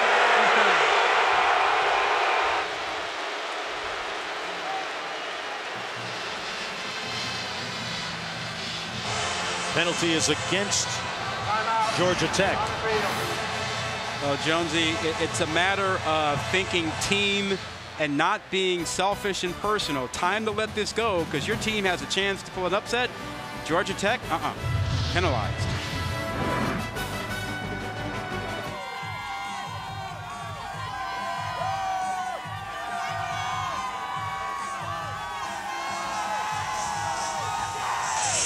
Be on the lookout for the Taco Bell student section and passionate fans like these at games all season long. Go to ESPN.com slash Taco Bell and learn how you can get to the college football playoff. Back under the lights, first down and 10 from the 26 for the Seminoles with a tenuous three-point lead after that unsportsmanlike conduct penalty, a rather debatable one perhaps, against the Yellow Jackets. Dalvin Cook, it was debatable, You're Rod. still mad about it. I know you're a lawyer, but that was debatable. All I'm saying is you can't take that chance. You know, you can't try to retaliate in a three-point game in the fourth quarter. And if the official flags you for it, bad on you. yeah, I, I just saw the Florida State player try to ride him. Yeah, you're right. Absolutely. Dalvin Cook well, just had his first rush of the second half. Georgia Tech had the ball for over 12 minutes in the third quarter. This touch to Freddie Stevenson stopped up a couple of yards short of the first down. He picked up five on the reception. Well, Here's a look at Cook on the last play. Yeah, well, it's Cook's time, fourth quarter, but watch the end of this. It's like he kind of grabbed his hamstring, like, "Eh, is that a little bit of a problem? We've been watching it all night. He initially injured that hamstring back in the game against Wake Forest. He hasn't had any rushes, didn't have any in the third quarter. Georgia Tech effectively playing keep away in the third period. Florida State one of six on third downs, and they're going to call a timeout here. Yeah, Facing Jimbo a third and Fisher- two. Fisher came on the field again to get that timeout called. E ESPN College Football, brought to you by Chick fil A. We didn't invent the chicken, just the chicken sandwich. And Miller Lite, back in its original bottle, but not for long. It's Miller time. NFL Insider Sunday edition, 10 a.m. Eastern Time at 11. It's NFL Countdown with Boomer and the gang. It all starts at 10 on ESPN. Jonesy, Third and this, two. This is a run formation. I formation is heavy run for Florida State. And if you're Jimbo Fisher, you got to trust number four, Dalvin Cook. Little play action. Golson open. Great call. First down, Seminoles to Ryan Izzo. What a nice fourth quarter adjustment for Jimbo Fisher. That I formation in the past has been 100% run. They changed that tendency in the fourth quarter tonight and come up with a big tight end pass reception by Izzo. And all coaches try to save something for the fourth quarter, both on offense and defense. First and 10. Looked like a bust in the backfield. Golson close to getting back to a line of scrimmage. Back to Chris in the studio. Golson with the quarterback keeper. One yard loss on the play brings up second down and 11. Ball on the 46 yard line.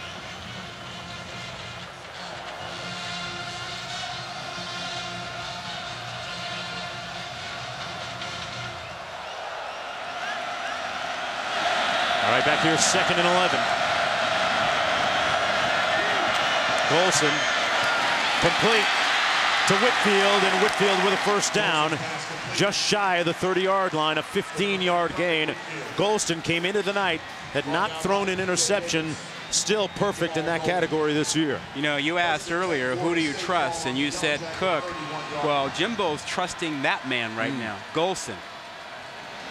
This fourth quarter, he's turned to Golson to throw it, run it, picked up a first down now.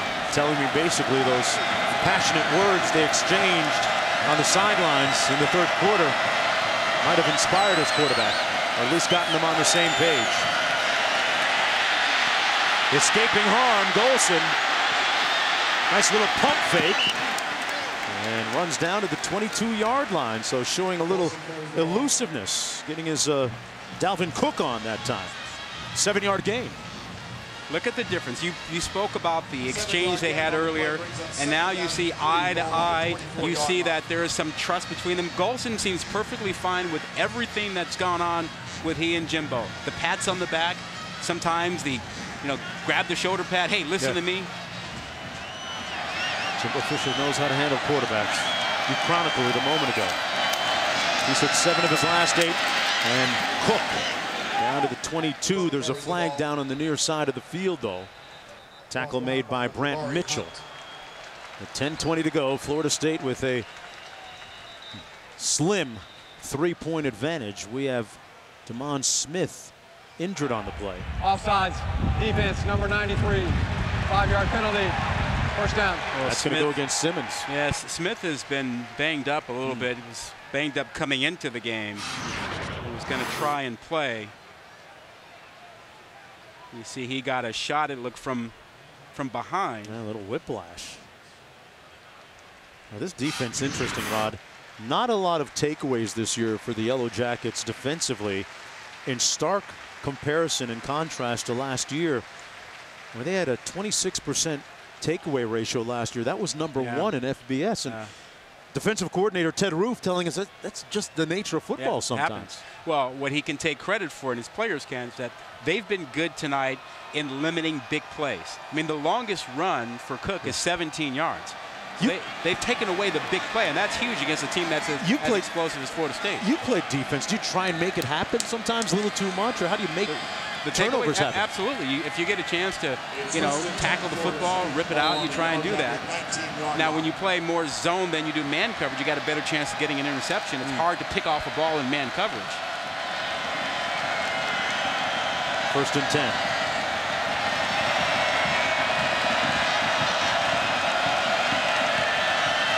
Wilson out of the shotgun. Given time. Flag thrown. The pass incomplete to Cook at the 22. Let's see what this flag is about at the 25 yard line, though. Defended by number 20, Lawrence Austin.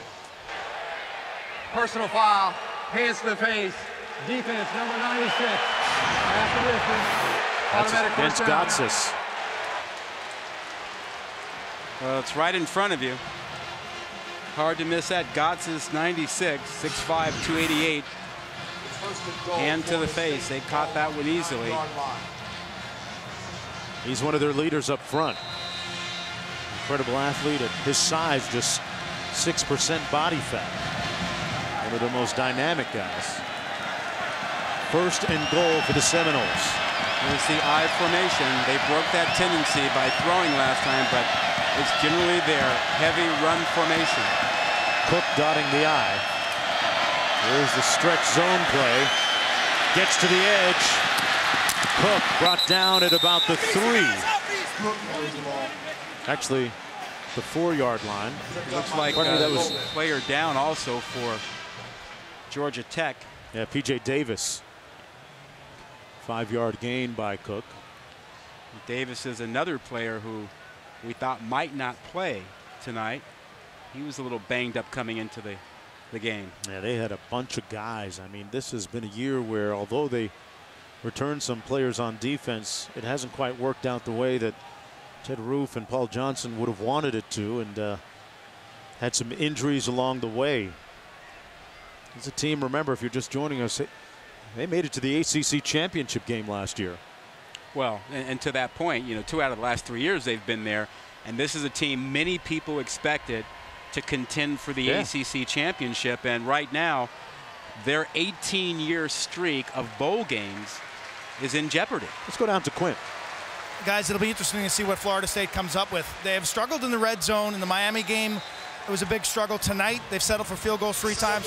One thing you notice from the sideline, they don't have really tall wide receivers for the most part, and that, is, that has been a little bit of an issue down around the goal line. You're right. Whitfield is 5'7", Wilson 5'10". Their their biggest guy is Rudolph, who's 6'2", but they've struggled. 53% touchdown percentage coming into this ball game in the red zone, which is awful. Look at Saunders, but he's a tight end and uh, just a freshman. False Flags. start, offense, number 74. Five-yard penalty, second down. And that's exactly what happened all too frequently for Jimbo Fisher last week in the Louisville game. He's got a young offensive line. He talked to us about it yesterday. He said, hey, I don't know why some of these guys jump, a little anxiety, you know, uh, just not the maturity of it, and these things happen. Well, 53% in the red zone won't get it done. Second and goal, they move it back. Golson, little counter step. Great move. Golson, though, drilled and brought down at about the five-yard line by Gotsis, atoning for that earlier error. A four-yard gain by Golson and another Georgia Tech player coming up limping and shaken up.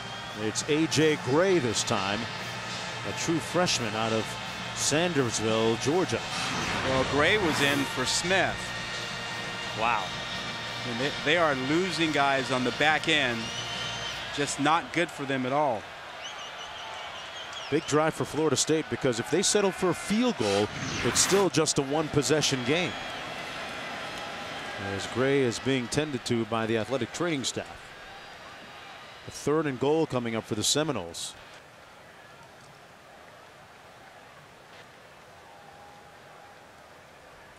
It's been that kind of season, a litany of injuries for Paul Johnson and Georgia Tech.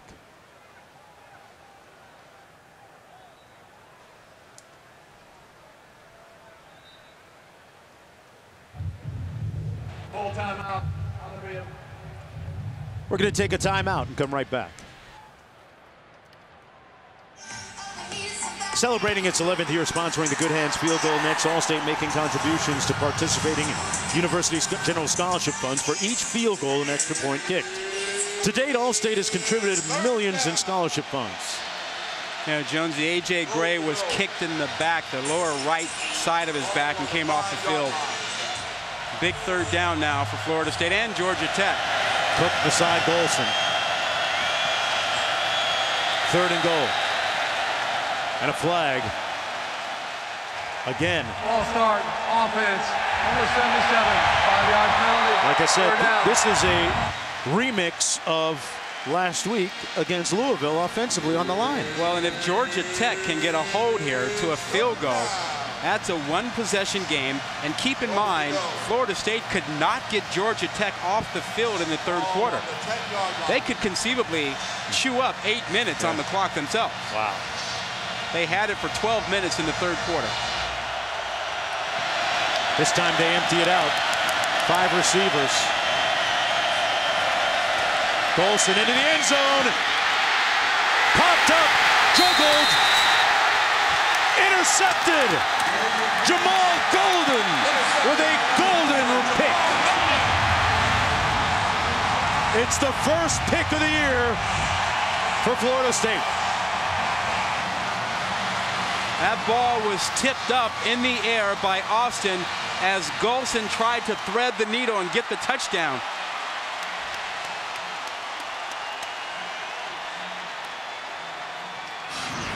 It had to come sometime. This Watch is the first Austin, interception. 20. He gets his left hand in there, knocks the ball in the air, and it looks like it bounced off of off of the knee Mm. of Rudolph. And Golden is there for the ricochet. The first pick for Everett Golson this season, and at a terrible time Yes. for Florida State. Takes points off the board. I think he might have been telling his center he was looked like he was waiting for the snap a little bit longer than he wanted. Regardless, little over eight minutes to go. And here comes Justin Thomas keeping it for the first down. Out to the 35-yard line, a 15-yard gain. And 10, Georgia.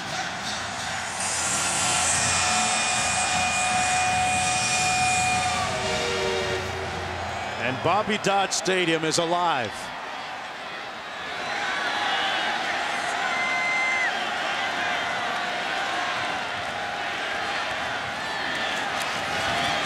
Thomas keeps it, and they crash down on him at the 35-yard line. That was Nnadi making the stop on the play. You know, in a season when some of the balls have bounced the wrong way and Lady Luck hasn't exactly been on their side. That ball was juggled and caught by Georgia Tech. They finally literally caught a break.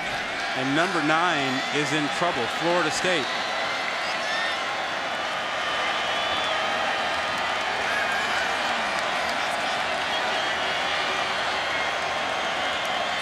Second and 10. They gave it to the first guy through, Marcus Marshall, out near the 40-yard line. It'll be third down, gained about five. And this is the dangerous down for Georgia Tech. They've proven all night throwing on third and five and plus is a problem for them. Will they go to it here? I, I've felt all along that they just needed to live and die with their option instead of throwing on third down. It just hasn't worked out tonight. Two Mar- picks already. Marshall in the backfield. He's the closest they've got to a game breaker there. They run the toss to Willis, and you're not going to outrun Florida State to the edge like that. Good tackle by Elliott. Willis with the carry. How about that play? Elliott. Wow. Elliott smelled it completely, defeated the blocker. He makes this play by himself. Watch the top of the screen. 14 takes on the block, gets his shoulder lower, blows through it, and makes the tackle. That goes on the highlight Oh, clip, right? absolutely. Ryan Rodwell. That is huge. For Florida State, Jesus Wilson. And the punt from Rodwell. Fair catch called at the 21-yard line by made by Jesus, a.k.a. Bobo Wilson on the 44-yard punt. No return. He's a little shaken up. Florida State football when we come back. Hey, if you want to watch college football on the go, just download the Watch ESPN app or go to watchespn.com. Catch everything live.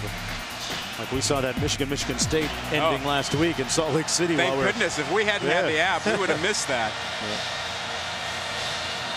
First and 10 for the Seminoles in the wake of Everett Golson's first interception thrown this year.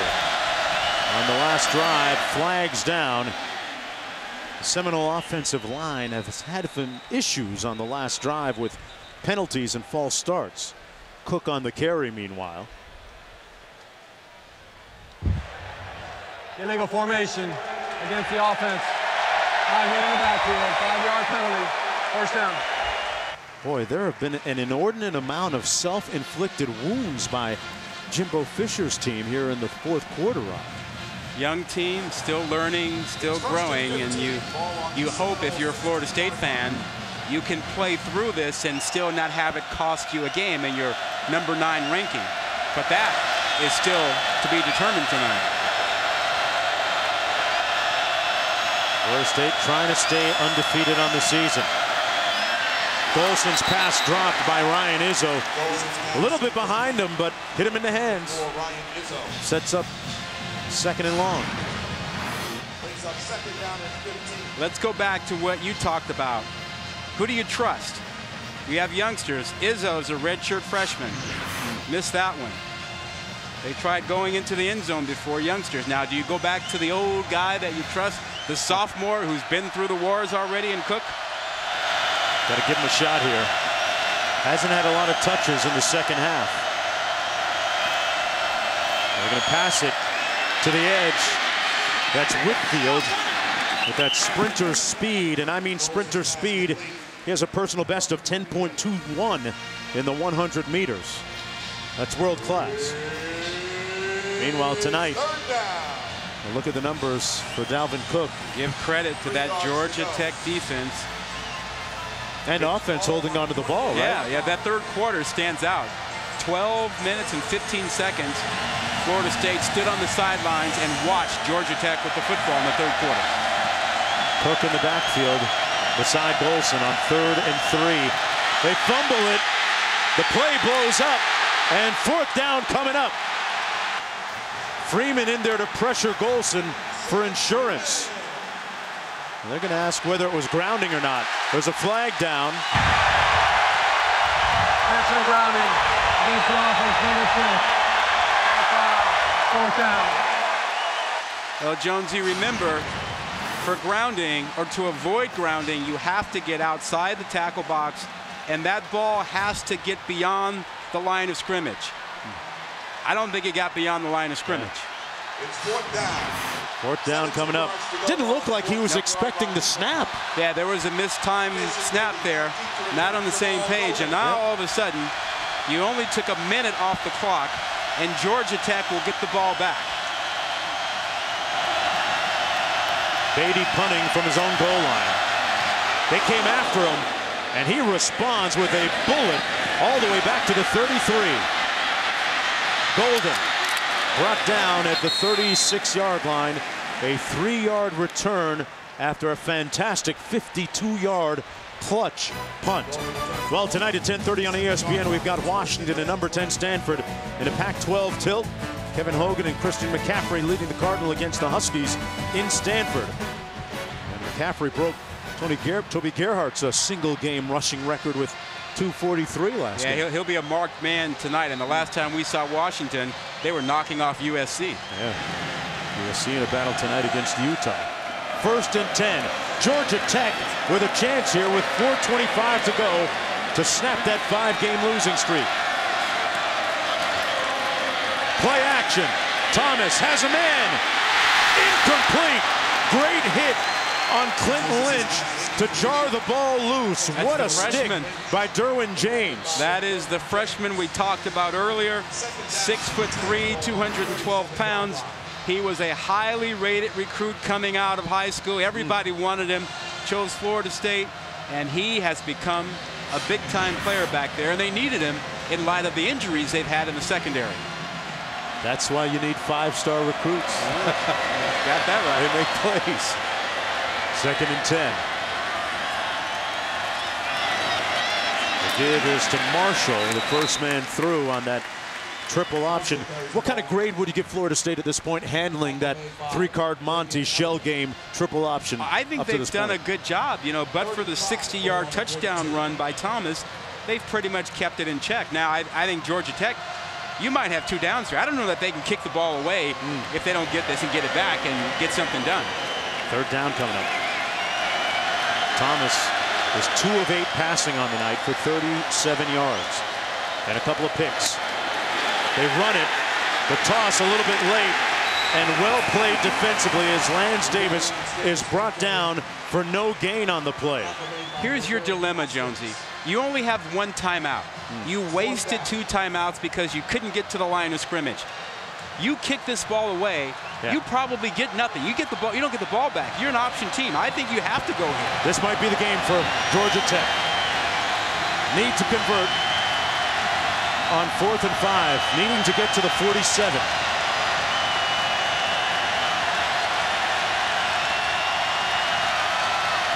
They're going to throw. Thomas has a man open. First down. Brad Stewart with the biggest play of the night for Georgia Tech.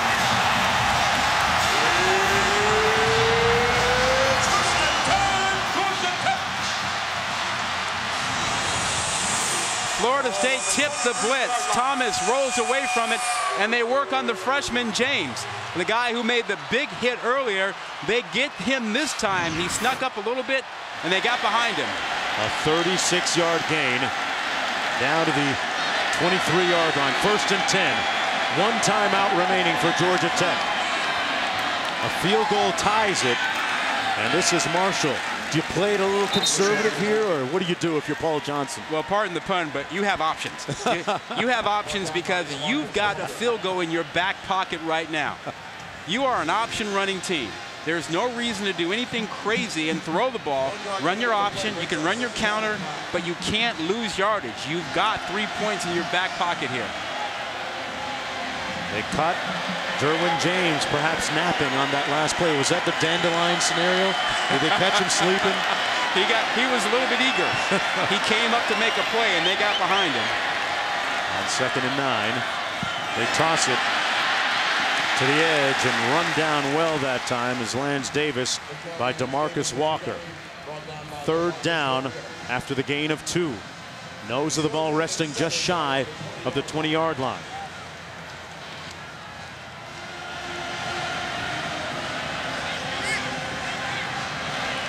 Florida State over the last couple of years, albeit a different cast this year, used to playing in close games like this. I'm not throwing it here, buddy. Third and seven? Uh, not throwing it. I got three points in my back pocket. I can't take a sack. I can't have a pick. Trust your option. Thomas only has three completions tonight, but the last one was vital. He keeps it. Well, you're right. They didn't try and throw it. He's pushed out of bounds. They're going to mark it at the 18. Josh Sweat was there to push him out, along with Jacob Pugh, a gain of two. Fourth down coming up. And in comes the field goal unit led by Harrison Butker. Butker tonight has already made a couple. Jonesy, we talked about it earlier. The fact that 18, I'm sorry, 28 win streak for Florida State, yeah. an 18 game bowl streak on the line for Georgia Tech. They won a postseason game. From 35, Fisher doesn't try to ice him, and he drills it. Field goal is good. The big play of the drive was that completion to Brad Stewart for 36 yards. This was the game saver. Yeah, Stewart got behind the freshman James. Little wheel route. Ball dropped right in there. Good catch. And that set things up. You saw the wheel route there. James came flying up to try to make a play. Stewart just wheeled out behind him down the sideline and a perfectly thrown ball by Thomas, who'd been struggling all night in the passing game, came up with a big one there. Let's flip the script now and talk about Florida State. Remember, they've got a real dangerous kickoff return man in Kermit Whitfield, who had that 100-yard kickoff return in the national title game against Auburn a couple of years ago. There he is, number eight. He, too, with world-class speed. I'm talking about 10.2 speed in the 100 meters. Now, do you kick it away from him? And if you don't, Florida State still with a little bit of time, 54 seconds, Uh, yeah. two timeouts. I don't kick it to him. There you go. Kick it out. This one will come out to the 25-yard line. First and 10 for Everett Golson, who had a dubious first tonight with his first interception thrown of the season. Well, after tonight's Pac-12 showdown, stick around for Sports Center at night. Catch all the highlights and news from a busy day in college football. Sports Center at night kicking off right after Washington and Stanford on ESPN and streaming live on Watch ESPN. Well, Jonesy, you're Florida State. You've got two timeouts. You have a veteran quarterback, a fifth-year guy who transferred in. He's played in the national championship game. You've trusted him tonight. You know your kicker can make about a 50, 54-yard field goal. First and 10. Dalvin Cook going to pick up about two on the play, brought down by Adam Gotsis. You know, we should have expected this. Last five games in this series have been decided by a total That's a total of 17 points. Averages out to about a field goal. Including that ACC championship Yes. game last season. Uh, we got a player shaken up on the field. It's one of the Florida State offensive linemen, Kareem Are He just came back. He sure did. The young offensive lineman still establishing a little bit of chemistry out there. He's one of the upperclassmen. Oh, he got See him, rolled up yeah, on. Yeah, to the right of your screen. He gets rolled up on on that left leg. That's really, really sad to see. He Yeah. just got back to the lineup tonight. Second down and eight coming up now for Florida State. 41 seconds to go. Their perfect undefeated record at stake right now, in peril. And they call a timeout. So they give it to Dalvin Cook on first down and pick up a couple of yards. Y- You know, you've got time. 41 seconds. Right. You know that if you get to what is, we need about the 37 yard line if you're Florida State. That's where you got to get to to have a reasonable shot at a field goal. Given the speed you have on the outside, that's not the issue. It's about being smart with the football and using that timeout when you need to. Movetti, number 55, in on the offensive line. And they find a gaping hole for the first down beyond the 35 to the 36 with 36 for- seconds they're to go. playing for overtime? You know what? Cook is a home run hitter. So I say no. I mean, that, that's a good call, right? Yeah, well, you know, you need, you're going to need about a 30-yard pass here sooner or later to have a shot, and you got the one timeout. Out of the shotgun, Golson fires it low and incomplete behind Whitfield. Second and 10 with 27 seconds to go. Second down and 10, ball on 36. You need 25 yards. Roberto Aguayo has a career long of 53 as he watches from the sidelines. Will he get an opportunity? That's the question that begs. On second and 10.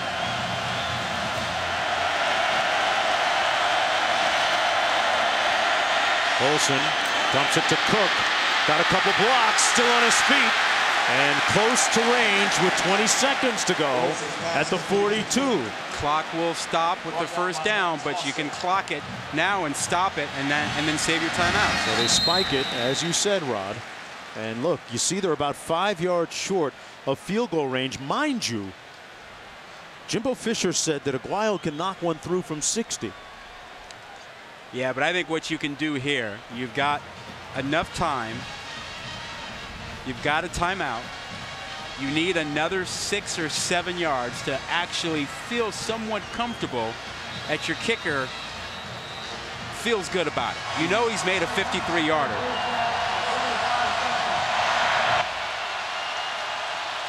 Florida State looking for their 29th consecutive conference win to tie a record. Looking to stay unbeaten and improve to 7 and 0. And know, be a Jim- player in the college football playoff. You have the timeout. You can use the entire field here. And Georgia Tech going to call timeout. Georgia Tech. Third and final timeout. 30 Well, second Johnson. timeout. Wants to talk things over.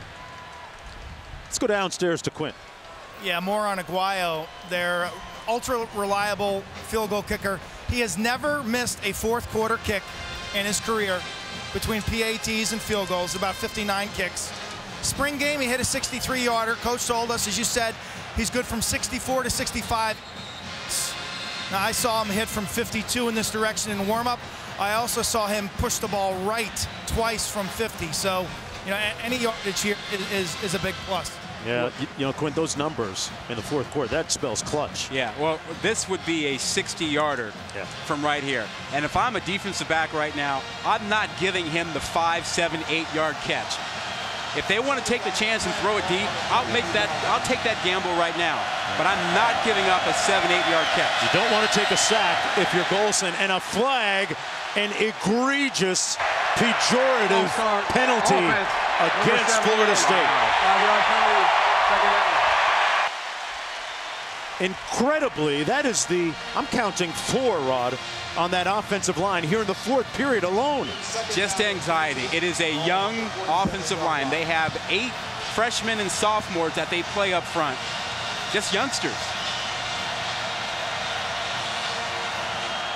Still 16 seconds on the clock. No time expired.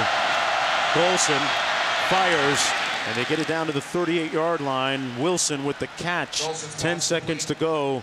And they burn a timeout. From here. 55, 55. 56. Yep. 38-17. Yeah, it's a 55-yarder. Within his range. Do you, do you run one more play here No. and then trot him out? No. It- It's too risky. Think about this. If you run a play and you don't get out of bounds, you got a problem. You, you, you won't even get the attempt. Right now, you know you have an attempt. Now, this tells you something about how much Fisher trusts Golson. If he runs a play here, Uh-huh. he really truly believes that Golson will quickly make that decision and get rid of the ball and not take a sack. What anything. kind of play fits that profile? It can only be, quick? it's got to be a sideline. It's got to be an out. Okay, You got to get rid of it quickly. let's see what they run. If you get a first down, there's no guarantee you can actually get the clock stopped and get your field on the team. You got to get down, right? Yeah. You got to assume that his receivers got that message too. On third and six, Golson throws to the sideline, incomplete. So now Aguayo will presumably get his opportunity. Rudolph, the intended receiver, it appeared to hit him in the hands. And a look at Aguayo, Roberto Aguayo, the 6'1 junior, has never missed a fourth quarter kick. This will be a 56-yarder. His career long is from 53, from the left hash, to remain unbeaten, and perhaps a player in the college football playoff and the 29th consecutive conference win. Blocked, snuffed, rubbed out, erased. And Georgia Tech with an opportunity. Austin still on his feet. One man. You can't believe what just happened. What a time to be alive.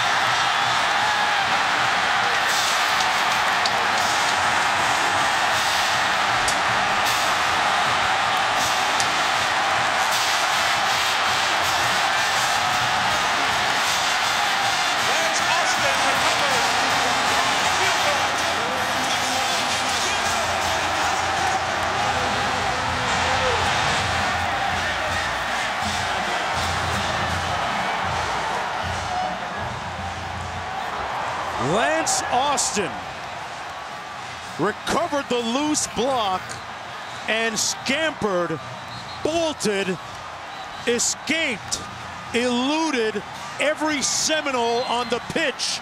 78 yards for the winning touchdown.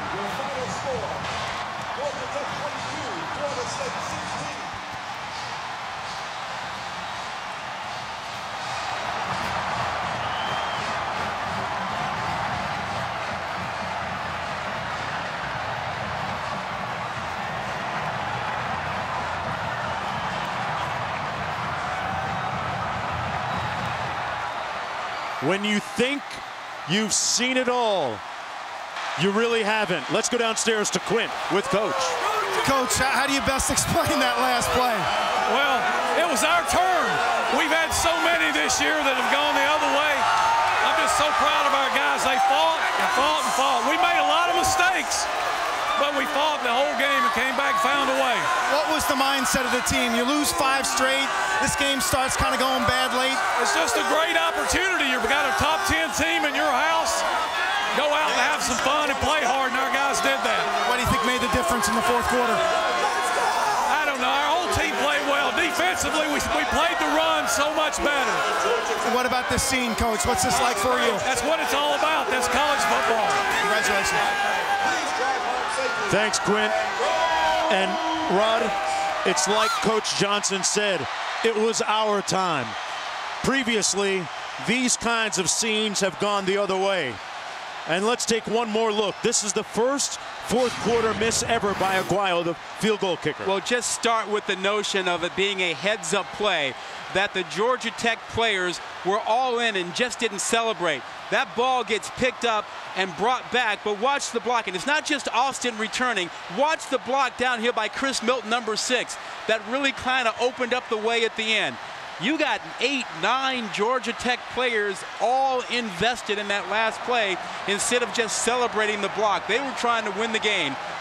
That's the mark of a winner. That's a team that's been frustrated by being two and five, looking at possibly not making a bowl game, and they knocked off the top 10 team. Paul Johnson seemed to be just waving off Austin saying just get down or something, and then he kind of backed up. Did you see that? Yeah. No, no, no, keep going, no, son. no, keep no. going. Yes.